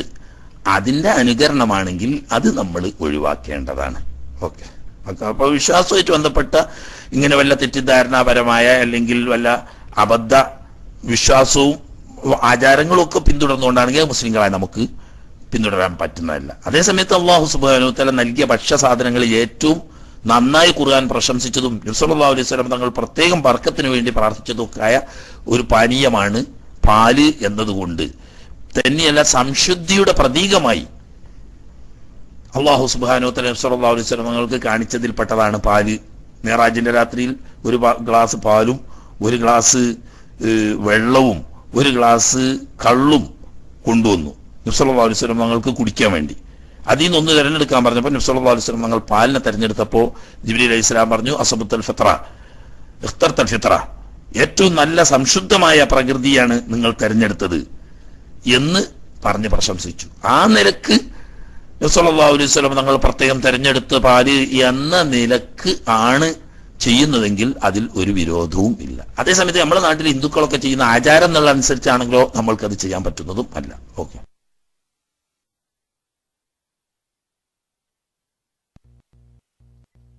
എന്താ വെച്ചിട്ടുണ്ടെങ്കിൽ മൂത്രവെച്ച് കഴിഞ്ഞിട്ടുണ്ടെങ്കിൽ കഴുകുന്ന സമയത്ത് മൂത്രവെച്ച് കഴുകി കഴിഞ്ഞിട്ട് പക്ഷെ എന്നിട്ട് കഴുകി കഴിഞ്ഞ ശേഷം പാന്റിന്റെ കൂടെ ഒക്കെ നനവുണ്ടാവും. അങ്ങനെ നിസ്കരിക്കാൻ പറ്റുമല്ലോ എന്ന് ഞാൻ ചോദിക്കാറുള്ളത്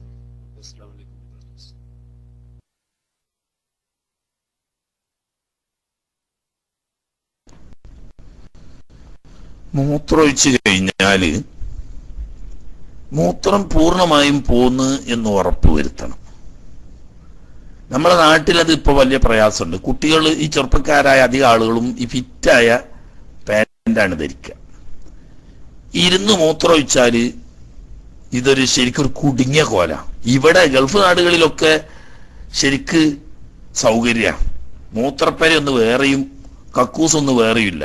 എല്ലാം ഫുൾ ഡോറുള്ള ഡോർ അടച്ചിട്ട് അതിൽ നിന്ന് മൂത്രം ഒഴിക്കണം അങ്ങനെ ആവുമ്പോൾ നമുക്ക് ഇതിന്റെ സിബ് മാത്രമല്ല ശരിക്ക് കഴി- അഴിച്ച് താത്തിയിട്ട് റാഹത്തായി മൂത്രമൊഴിക്കാം. ഏതായാലും പൂർണമായി മൂത്രമൊഴിച്ച് എന്നിട്ട് കൂറ്റനക്കി ഒക്കെ പറഞ്ഞ് ഇനി മൂത്രം ബാക്കിയില്ല എന്ന് ഉറപ്പ് വരുത്തി വേണമെങ്കിൽ പിന്ദ്വാരം മുതൽ അടിഭാഗത്തിലൂടെ തടഞ്ഞ് ലിംഗത്തിന്റെ തല വരെ സാവധാനം രണ്ടു മൂന്ന് പ്രാവശ്യം തടഞ്ഞ് അല്പം ഒന്ന് പതുക്കെ കുടഞ്ഞ് മൂത്രം വാക്കില്ലെന്ന് ഉറപ്പ് വരുത്തിയതിന് ശേഷമേ മനോരം ചെയ്യാൻ പാടുള്ളൂ. അങ്ങനെ മനോരം ചെയ്തിട്ട് അതിന് ഇസ്തിബറ എന്നാ പറയാ ഈ സൂക്ഷ്മതക്ക് അത് വേണ്ടതാണ്. കാരണം നന്ന ചെറുപ്പക്കാർ കുട്ടികളെ സംബന്ധിച്ച് ശരിക്ക് പാന്റ് അയച്ച് ശരിക്കും മൂത്രം ഒഴിച്ചാൽ തന്നെ കുറഞ്ഞു കുറച്ചുകൂടെ കഴിഞ്ഞാൽ ഞരമ്പ് തളർച്ച ബാധിക്കാൻ തുടങ്ങിയാലാണ് മൂത്രത്തിന്റെ കിനിച്ചിലും മറ്റും അധികം വരിക. അങ്ങനെയുള്ളവർ ഇനി കിനിഞ്ഞു വരില്ല എന്ന് ഉറപ്പ് വരുത്താൻ വേണ്ടിയിട്ട് ചിലപ്പോൾ എഴുന്നേറ്റ് നടക്കേണ്ടി വരും ചില ആളുകൾക്ക്. ഇല്ലാത്തവർക്ക് കൂറ്റനക്കിയിട്ടും വല്ല തടകിയിട്ടും അതുപോലെ തന്നെ ലിംഗം അല്പം പതുക്കെ ഒന്ന് കുടഞ്ഞിട്ടും മൂത്രം പൂർണമായി പോയി എന്ന് ഉറപ്പ് വരുത്തിയതിന് ശേഷം മനോരം ചെയ്യണം. ഇനി അങ്ങനെ ഒരു സംശയം വരാതിരിക്കാൻ വേണ്ടിയിട്ട് അല്പം വെള്ളം കുടയുന്നത് നല്ലതാണ്. എന്നാ പിന്നെ അത് അങ്ങനെയാണോ അങ്ങനെയാണോ അവിടെയാണോ എവിടെയാണോ എന്നുള്ള ഇഷ്കാലുകളൊക്കെ പോകാൻ അല്പം വെള്ളം ഈ ഫാൻസിന്റെ ഭാഗത്ത് കുടഞ്ഞിരിക്കുന്നത് നല്ല എന്നാ പിന്നെ സംശയം ഉണ്ടാവില്ല. ഓക്കെ ഏതായാലും ഇസ്തിബ്ര ചെയ്ത് മൂത്രം പൂർണമായും പോന്നു എന്ന് ഉറപ്പുവരുത്തിയതിന് ശേഷം അല്ലാതെ മനോരം ചെയ്യാൻ പാടില്ല. അങ്ങനെ വന്നാൽ പിന്നീട് അല്പം മൂത്രം കിനിഞ്ഞ് പുറത്തു വരാനും നജസ്സാകാനും ഊതു മുറിയാനും ഒക്കെ കാരണമുണ്ട്. അത് സൂക്ഷിക്കൽ നിർബന്ധമാണ് എന്ന് പ്രത്യേകം ഉണർത്തുന്നു. ഓക്കെ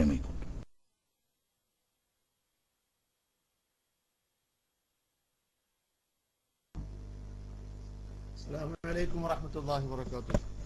നജസിന്റെ അധ്യായമായതുകൊണ്ട് നജസിന്റെ ക്ലാസ് ആയതുകൊണ്ട് ഒരു ഓർമ്മപ്പെടുത്തേണ്ടതുണ്ട്.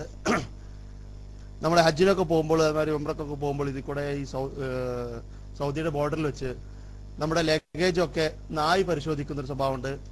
സെക്യൂരിറ്റിയുടെ ഭാഗമായി നായി പരിശോധിക്കുന്നു. ആ നായി ആ ബാഗൊക്കെ തുറന്നിട്ട് ആ നായിന്റെ മുഖം കയ്യിൽ ഉള്ളിട്ട് ഇട്ട് നോക്കുന്നുണ്ട്.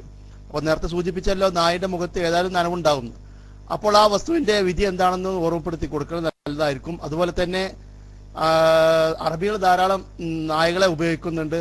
മാലിക്കി മധബിൽ നായിന്റെ വിധിയൊന്നും നായ് തൊട്ടാലുള്ള വസ്തുവിന്റെ വിധിയൊന്നൊക്കെ ഓർമ്മപ്പെടുത്തി കൊടുക്കുന്നത് നന്നായിരിക്കുമെന്ന് സൂചിപ്പിക്കുന്നു. അസ്സലാമു വലൈക്കും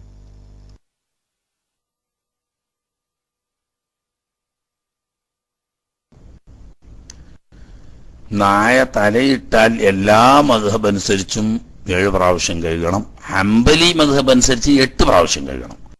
മാലിക്കി മധബ് അനുസരിച്ച് ഷാഫി മധബ് അനുസരിച്ചും ഏഴ് പ്രാവശ്യം കഴുകണം. ഹനഫി മധബ് അനുസരിച്ച് സാധാരണ നജസ് പോലെ മൂന്ന് പ്രാവശ്യം കഴുകണം.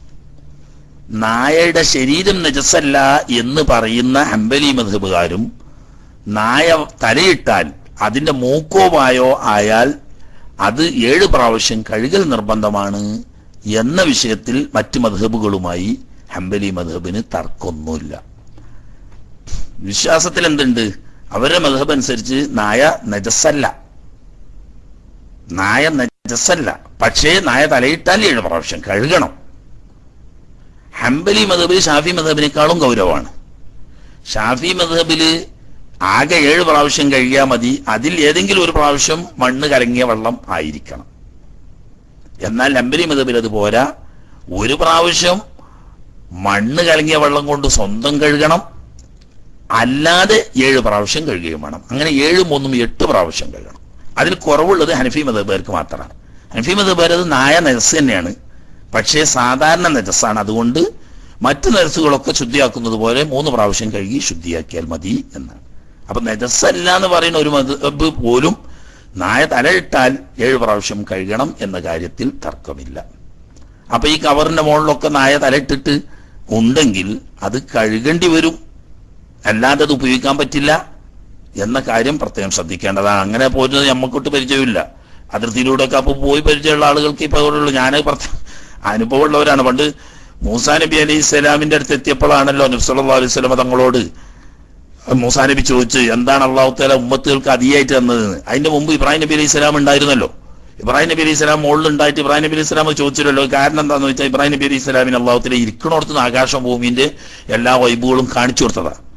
മുനാജാത്തിന് വിളിച്ചിട്ടില്ല. അതേസമയത്ത് മൂസാ നബി അലൈഹി സ്വലാമിനെ തൂരിസിനിലേക്ക് മുനാജാത്തിന് വിളിച്ചിരുന്നു. തൂരിസിനിലേക്ക് മുനാജാത്തിന് വിളിച്ചപ്പോ രണ്ട് നിസ്കാരം കൊടുത്തപ്പോ മൂസാ നബിക്ക് അറിയാം അറശിന്റെ മോൾക്ക് മുനാജാത്തിന് വിളിക്കുമ്പോ എന്തായാലും കുറച്ച് നല്ലോണം കിട്ടും. അതുകൊണ്ട് അനുഭവമുള്ള ആയതുകൊണ്ട് മൂസാ നബി പറഞ്ഞത് ചോദിച്ചിരുന്ന കിട്ടിയെന്ന് എന്നതുപോലെ ഇവിടെ ഇപ്പോ ഞാൻ അങ്ങനെ പോകുന്ന നോക്കിയിട്ടില്ല. നമ്മളിപ്പോ നാട്ടിൽ നിന്ന് വരുന്ന വരുവാൻ വരിക. എയർപോർട്ടിൽ ഇറങ്ങിയാൽ സാധാരണ ഇതുവരെ അങ്ങനെ നായ പരിശോധിക്കുന്ന അനുഭവം കണ്ടിട്ടില്ല. സാധാരണ അവിടെ എന്തെങ്കിലും വെക്കുക മാത്രം. എക്സ്റേ ഇടും. അത് പുറത്ത് ഒന്ന് എടുക്കുന്നല്ലാതെ മറ്റു പരിശോധനകളൊന്നും ഇതുവരെ കണ്ടിട്ടില്ല. അപ്പൊ അതുകൊണ്ട് നമ്മൾ അനുഭവത്തിലില്ലാത്തതുകൊണ്ട് പ്രത്യേകം ഉണർത്തിയിട്ടില്ല. അനുഭവം അതൊരു വലിയ ഉസ്താദാണല്ലോ. അപ്പൊ അനുഭവം ഉള്ളത് കൊണ്ടായിരിക്കും ഇപ്പൊ ആ ഉസ്താദ് ആ കാര്യം പ്രത്യേകം ഉണർത്തിയത്. അപ്പൊ അതുണ്ടെങ്കിൽ പ്രത്യേകം ശ്രദ്ധിക്കണം. ഏത് മതമനുസരിച്ചും തല നായ ഇട്ടാൽ അതിന്റെ മൂക്കും വായും പറ്റിയ സ്ഥലം എന്തായാലും കഴുകണം. അല്ലെങ്കിൽ അത് നെസ്സായിരിക്കും.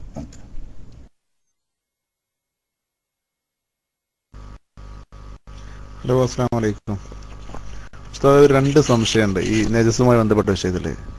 ഒന്ന് നേരത്തെ ഈ സ്പ്രേ ഉണ്ടല്ലോ സ്പ്രേ അടിക്കുമ്പോൾ അതിൽ ആൽക്കഹോളിന്റെ അംശമുണ്ട് എന്ന് പറയപ്പെടുന്നു. അപ്പോൾ ഈ സ്പ്രേ അടിക്കുമ്പോൾ അത് ന- നജസാണോ അത് വെച്ചിട്ട് ആ വസ്ത്രം ഉപയോഗിച്ച് നമുക്ക് നിസ്കരിക്കാൻ നിസ്കാരത്തിന്റെ നിസ്കരിക്കാൻ പറ്റുമോ എന്നുള്ളതാണ് ഉസ്താനോട് സംശയം. വേറൊന്ന് ചോദിക്കാറില്ല. ഞാനിപ്പോൾ നിൽക്കുന്നത് ഇവിടെ ഈ റുവൈസിൽ ഇവിടെ ഈ സാംസങ്ങിന്റെ ഒരു ക്യാമ്പിലാണ് എന്റെ ജോലി ചെയ്യുന്നത്. ഇവിടെ ഈ കൂടുതൽ കൊറിയൻസ് ഉണ്ട്. കൊറിയക്കാർ കേൾക്കുന്നുണ്ടാവുമല്ലോ അല്ലേ എല്ലാവരും? ഈ കൊറിയക്കാരാണ് ഇവിടെ കൂടുതലുള്ളത്. അവർ ഈ പന്നി പട്ടി നായ എലി തുടങ്ങി നമ്മുടെ നാട്ടിൽ ചീത്ത പറയാൻ ഉപയോഗിക്കുന്ന വാക്കുകളുണ്ടല്ലോ. അതൊക്കെ അവർ തിന്നുന്ന സാധനങ്ങളാണ്. അപ്പോ അപ്പോ അകത്ത് ആ ക്യാമ്പിലേക്കാണ് ഇനി എനിക്ക് അടുത്ത് മാറാനുള്ളത്.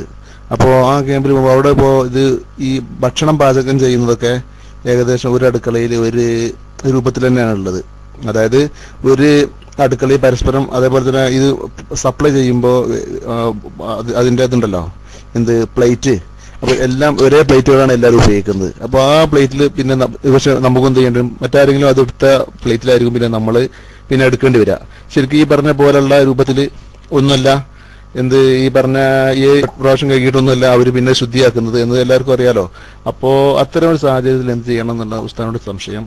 അതെങ്ങനെ നമുക്ക് ഉപയോഗിക്കാൻ പറ്റുമോ അതിന്റെ ഒരു വിധി അറിയണം വേണ്ടിയാണ് ചോദിക്കുന്നത്. അസ്സാം വലൈക്കും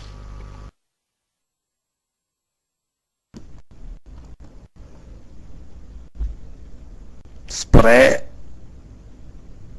ഉപയോഗിക്കുന്ന ആൽക്കഹോളിനെ സംബന്ധിച്ച് അതുമായി കെമിക്കലുമായി അറിയുന്ന എഞ്ചിനീയർമാരും ഒക്കെയായി ബന്ധപ്പെട്ട് അന്വേഷിച്ചു നോക്കുമ്പോൾ ലഹരി ഇല്ലാത്ത ഒരു തരം ഈ ബാഷ്പീകരിക്കാൻ വേണ്ടി ഉപയോഗിക്കുന്ന ഒരു തരം ആൽക്കഹോളാണ് സ്പ്രേയിൽ ഉപയോഗിക്കുന്നത് എന്നും അതിന് ലഹരി ഇല്ല എന്നും ചില എഞ്ചിനീയർമാർ പറഞ്ഞതായിട്ടുള്ള വിവരം കിട്ടിയിട്ടുണ്ട്. അപ്പോൾ ആൽക്കഹോളിൽ രണ്ട് തരം ഉണ്ട് എന്നാണ് കൂടുതൽ പഠനം നടത്തുമ്പോൾ മനസ്സിലാകുന്നത്. ലഹരി ഉള്ളതും ലഹരി ഇല്ലാത്ത ബാഷ്പീകരണത്തിന് മാത്രം ഉപയോഗിക്കാൻ പറ്റുന്ന തരത്തിലുള്ളതുമായ സ്പ്രേ ഉണ്ട് ഉപയോഗിക്കുന്നതൊക്കെ ആ ബാഷ്പീകരണത്തിന് വേണ്ടി ഉപയോഗിക്കുന്നതും ലഹരി ഇല്ലാത്തതുമായ ആൽക്കഹോൾ ആണെന്നാണ് പറയപ്പെടുന്നത്. അങ്ങനെ വരുമ്പോൾ ലഹരി ഇല്ലാത്തതാണെങ്കിൽ ആൽക്കഹോൾ എന്ന് പേര് പറഞ്ഞുകൊണ്ട് പ്രശ്നമില്ല. അത് ലഹരി ഇല്ലെങ്കിൽ അത് നെസ്സല്ല ലഹരി ഉള്ളതാണെങ്കിൽ നെസ്സാണ് അപ്പൊ രണ്ടിനും സാധ്യതയുള്ളത് കൊണ്ട് ഒഴിവാക്കുന്നത് നല്ലതാണ് സൂക്ഷ്മതയാണ്. എന്നാൽ സ്പ്രേ ഉപയോഗിച്ചത് കൊണ്ട് നിസ്കാരം ബാത്തിലാണെന്നോ ആ വസ്ത്രം കഴുകിയെങ്കിലേ നിസ്കരിക്കാവൂ എന്ന് തീർത്തു പറയാൻ നിവൃത്തിയില്ല. കാരണം എന്താണ്? ഈ സ്പ്രേന്റെ കൂട്ടത്തിൽ ഉപയോഗിക്കുന്ന അൽക്കഹോൾ ലഹരി ഇല്ലാത്തതും കേവലം ബാഷ്പീകരണത്തിന് വേണ്ടി മാത്രം ഉപയോഗിക്കുന്നതുമായ ഒരു പദാർത്ഥമാണ് ഇതിൽ ഉപയോഗിക്കുന്ന പ്രത്യേക തരം ആൽക്കഹോൾ എന്ന് അത് സംബന്ധിച്ച് അറിയുന്ന എഞ്ചിനീയർമാരിൽ നിന്നിട്ട് അറിഞ്ഞ അടിസ്ഥാനത്തിൽ അങ്ങനെയാണെങ്കിൽ ഇപ്പൊ നജസ്സല്ല എന്നാൽ സാധാരണഗതിയിൽ ആൽക്കഹോളിൽ നജസ്സുണ്ട്. കാരണം ലഹരി ഉണ്ട് ലഹരി ഉണ്ടാവുമ്പോൾ നജസ് ഉണ്ടാവും അപ്പൊ രണ്ടിനും സാധ്യത ഉള്ളതുകൊണ്ട് ഒഴിവാക്കുന്നതാണ് നല്ലത്. ഉപേക്ഷിച്ച് നിർബന്ധമാണെന്ന് പറയാൻ കഴിയില്ല. സൂക്ഷ്മതയ്ക്ക് വേണ്ടി ഒഴിവാക്കുന്നതാണ് നല്ലത്. അഥവാ അങ്ങനെ ഉപയോഗിച്ചു പോയാൽ അതുകൊണ്ട് നിസ്കാരം ചെയ്യാതിരിക്കുകയൊന്നും ഇല്ല. ഓക്കെ. രണ്ടാമത്തേത് നമ്മൾ സൂക്ഷ്മത പാലിക്കുക. അവരിങ്ങനൊക്കെ തിന്നുന്നവരാണ് പട്ടിയും തുടങ്ങി പൂച്ചയും എലിയും ഒക്കെ കഴിക്കാറുണ്ട് എങ്കിലും നാം സൂക്ഷ്മത പാലിക്കുക. അത്തരം പാത്രങ്ങൾ നമ്മുടെ ശ്രദ്ധയിൽപ്പെട്ടാൽ അത് നിബന്ധന അനുസരിച്ച് കഴുകി വൃത്തിയാക്കിയെങ്കിലേ നമുക്ക് ഉപയോഗിക്കാൻ പറ്റൂ. ഇല്ലാത്തയിടത്തോളം കേവലം സാധ്യത വെച്ചുകൊണ്ട് അത് ഉപയോഗിക്കാതെ മാറ്റി നിർത്തിക്കൊള്ളണം എന്നില്ല. എങ്കിലും നമ്മുടെ വിവാദത്തിന്റെയും നമ്മുടെ ഭക്ഷണത്തിന്റെയും കാര്യമായതുകൊണ്ട് ഈ കാര്യത്തിൽ സൂക്ഷ്മത പാലിക്കേണ്ടതാണ് ശ്രദ്ധിക്കേണ്ടതാണ് എന്ന് മാത്രം ഉണർത്തുന്നു മൈക്കൂട്ട് സമയം ആ പരിമിതാണ്. ഒറ്റ ചോദ്യത്തിലൂടെയുള്ള സമയമുള്ളൂ. ഇന്ന് ഇവിടെ നിർത്തുകയാണ്. ഇൻഷാല്ല തുടർന്ന് നഴ്സിന്റെ പാഠങ്ങൾ തന്നെ ശനിയാഴ്ച മുതൽ വീണ്ടും ഉണ്ടാവും.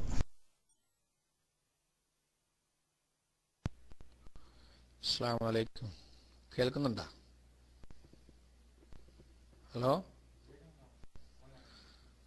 ആ ഹലോ ഞാൻ ചോദിക്കുന്നത് തവാഫ് ചെയ്യുന്ന സമയത്ത് ഈ ചെറിയ കുട്ടികളെയും കൂടെ കൊണ്ട് തവാഫ് ചെയ്യുമ്പോൾ അവർ പാമ്പർ യൂസ് ചെയ്യുന്നുണ്ടെങ്കിലും കുട്ടികൾ മൂത്രമൊഴിക്കാനുള്ള സാധ്യത ഉണ്ടാവുകയും പിന്നീട് തവാഫ് കഴിഞ്ഞതിന് ശേഷം പാമ്പർ അഴിച്ചു നോക്കുമ്പോൾ കുട്ടി മൂത്രം ഒഴിച്ചതായിട്ട് കാണുകയും ചെയ്താൽ അവിടെ എന്താണ് അതിന്റെ ഹുക്കുമ് ഒന്ന് മറ്റൊരു ചോദ്യം ഈ ഇറച്ചി മത്സ്യമൊക്കെ കഴുകുന്ന സമയത്ത് അതിന്റെ രക്തം പൊതുവെ രക്തം നജസാണല്ലോ അപ്പോൾ അതിന്റെ രക്തം പൂർണമായി പോകാത്ത നിലയിൽ കഴുകുന്ന ശൈലികൾ ധാരാളം കണ്ടുവരുന്നുണ്ട്. ഹോട്ടലുകളിലൊക്കെ മിക്കവാറും വളരെ ഒന്നോ രണ്ടോ പ്രാവശ്യമൊക്കെ കഴുകിയിട്ട് പാചകം ചെയ്യുന്ന രീതിയാണ്.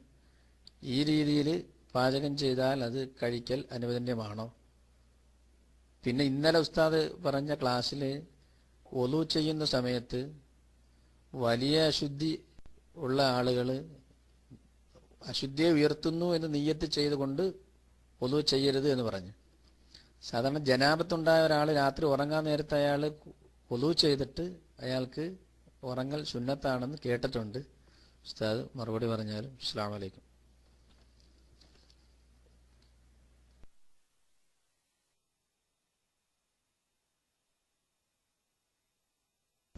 മൂന്ന് ചോദ്യങ്ങളാ മൂന്നും പ്രധാനപ്പെട്ട ചോദ്യങ്ങളാണ്. പക്ഷേ സമയമില്ലാത്തത് കൊണ്ട് ലാസ്റ്റ് ചോദിച്ച ഒറ്റ ചോദ്യത്തിന് ഇന്ന് പറയും. ബാക്കി നജസിന്റെ ഭാഗം ഇൻഷാല്ല ശനിയാഴ്ച തുടർന്നുള്ള ക്ലാസ് ഉണ്ടാവും. അവിടെ വെച്ച് ചർച്ച ചെയ്യാം എന്ന് ഉണർത്തുന്നു.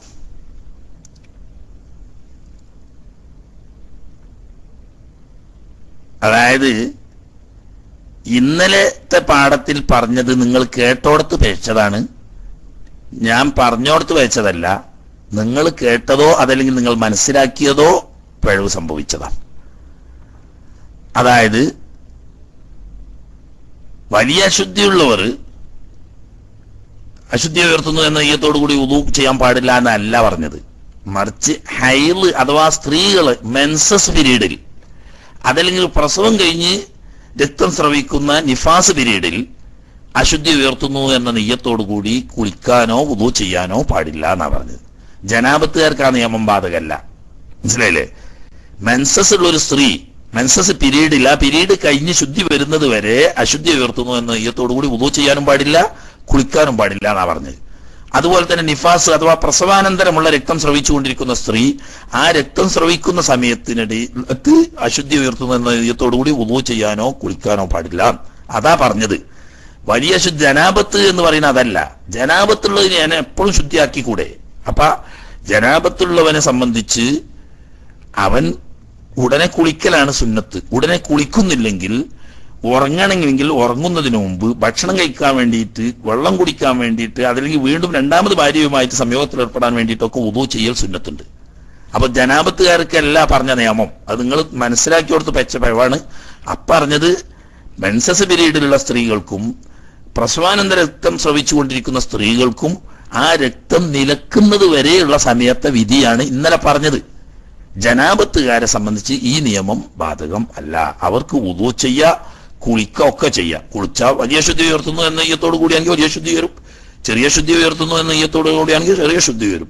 തന്നെയല്ല കുളിക്കുന്നില്ലെങ്കിൽ അങ്ങനെ ഉതു ചെയ്തുകൊണ്ട് ഉറങ്ങൽ സുന്നത്തുണ്ട് താനും. ഓക്കെ അപ്പൊ നിങ്ങൾ മനസ്സിലാക്കിയോടത്തുള്ള ചെറിയൊരു അബദ്ധമാണ്. മറ്റേ രണ്ടും പ്രധാനപ്പെട്ട ചോദ്യങ്ങൾ തന്നെയാണ്. പക്ഷേ ഇന്ന് ഇനി അത്യാവശ്യമുള്ളത് കൊണ്ട് നേരത്തെ പറഞ്ഞതുപോലെ മൂന്നേ പത്ത് എന്ന് പറഞ്ഞാൽ മൂന്നേ പത്ത് പതിനൊന്നായി. തൽക്കാലം ഇന്ന് ഇനി തുടരാൻ തൽക്കാലം വിഷമമുണ്ട്. ഉസ്താദന്മാരാരെങ്കിലും ഉണ്ടെങ്കിൽ മൈക്കിലേക്ക് വരണം എന്ന് അപേക്ഷിച്ചുകൊണ്ടും ഇൻഷാല്ലാ റബ്ബ് സുബാനോത്തര തൗഫീഖ് ചെയ്തെങ്കിൽ നജസ്സുമായി ബന്ധപ്പെട്ട കാര്യങ്ങൾ തന്നെ തുടർന്ന് ശനിയാഴ്ച ക്ലാസ് ഉണ്ടാവും. എല്ലാവരും സഹകരിക്കുക. അള്ളാഹു സുബാനു തലാവിന്റെ ദീനിൽ അറിവ് പഠിക്കാനും അത് ജീവിതത്തിൽ പകർത്തി പൊരുത്തം നേടാനും. നമ്മളിലൊക്കെ അറിയാതെ വന്നു പോകുന്ന അബദ്ധങ്ങളും പിഴവുകളും അള്ളാഹു തല മാപ്പാക്കി പുറത്തു തരുമാറാകട്ടെ എന്ന് ദുആ ചെയ്തുകൊണ്ട് റബ്ബന തഖബ്ബൽ മിന്നാ ഇന്നക അൻത സമീഉൽ അലീം വതുബ് അലൈനാ ഇന്നക അൻത തവ്വാബുർ റഹീം യാ അർഹമർ റഹീമീൻ സല്ലല്ലാഹു അലാ മുഹമ്മദ് സല്ലല്ലാഹു അലൈഹി വസല്ലം സല്ലല്ലാഹു അലാ മുഹമ്മദ് സല്ലല്ലാഹു അലൈഹി വസല്ലം അല്ലാഹുമ്മ സല്ലി അലാ മുഹമ്മദ് യാ റബ്ബി സല്ലി അലൈഹി വസല്ലം അസ്സലാമു അലൈക്കും വറഹ്മത്തുള്ളാഹി വബറകാതുഹു വസിയത്തോടെ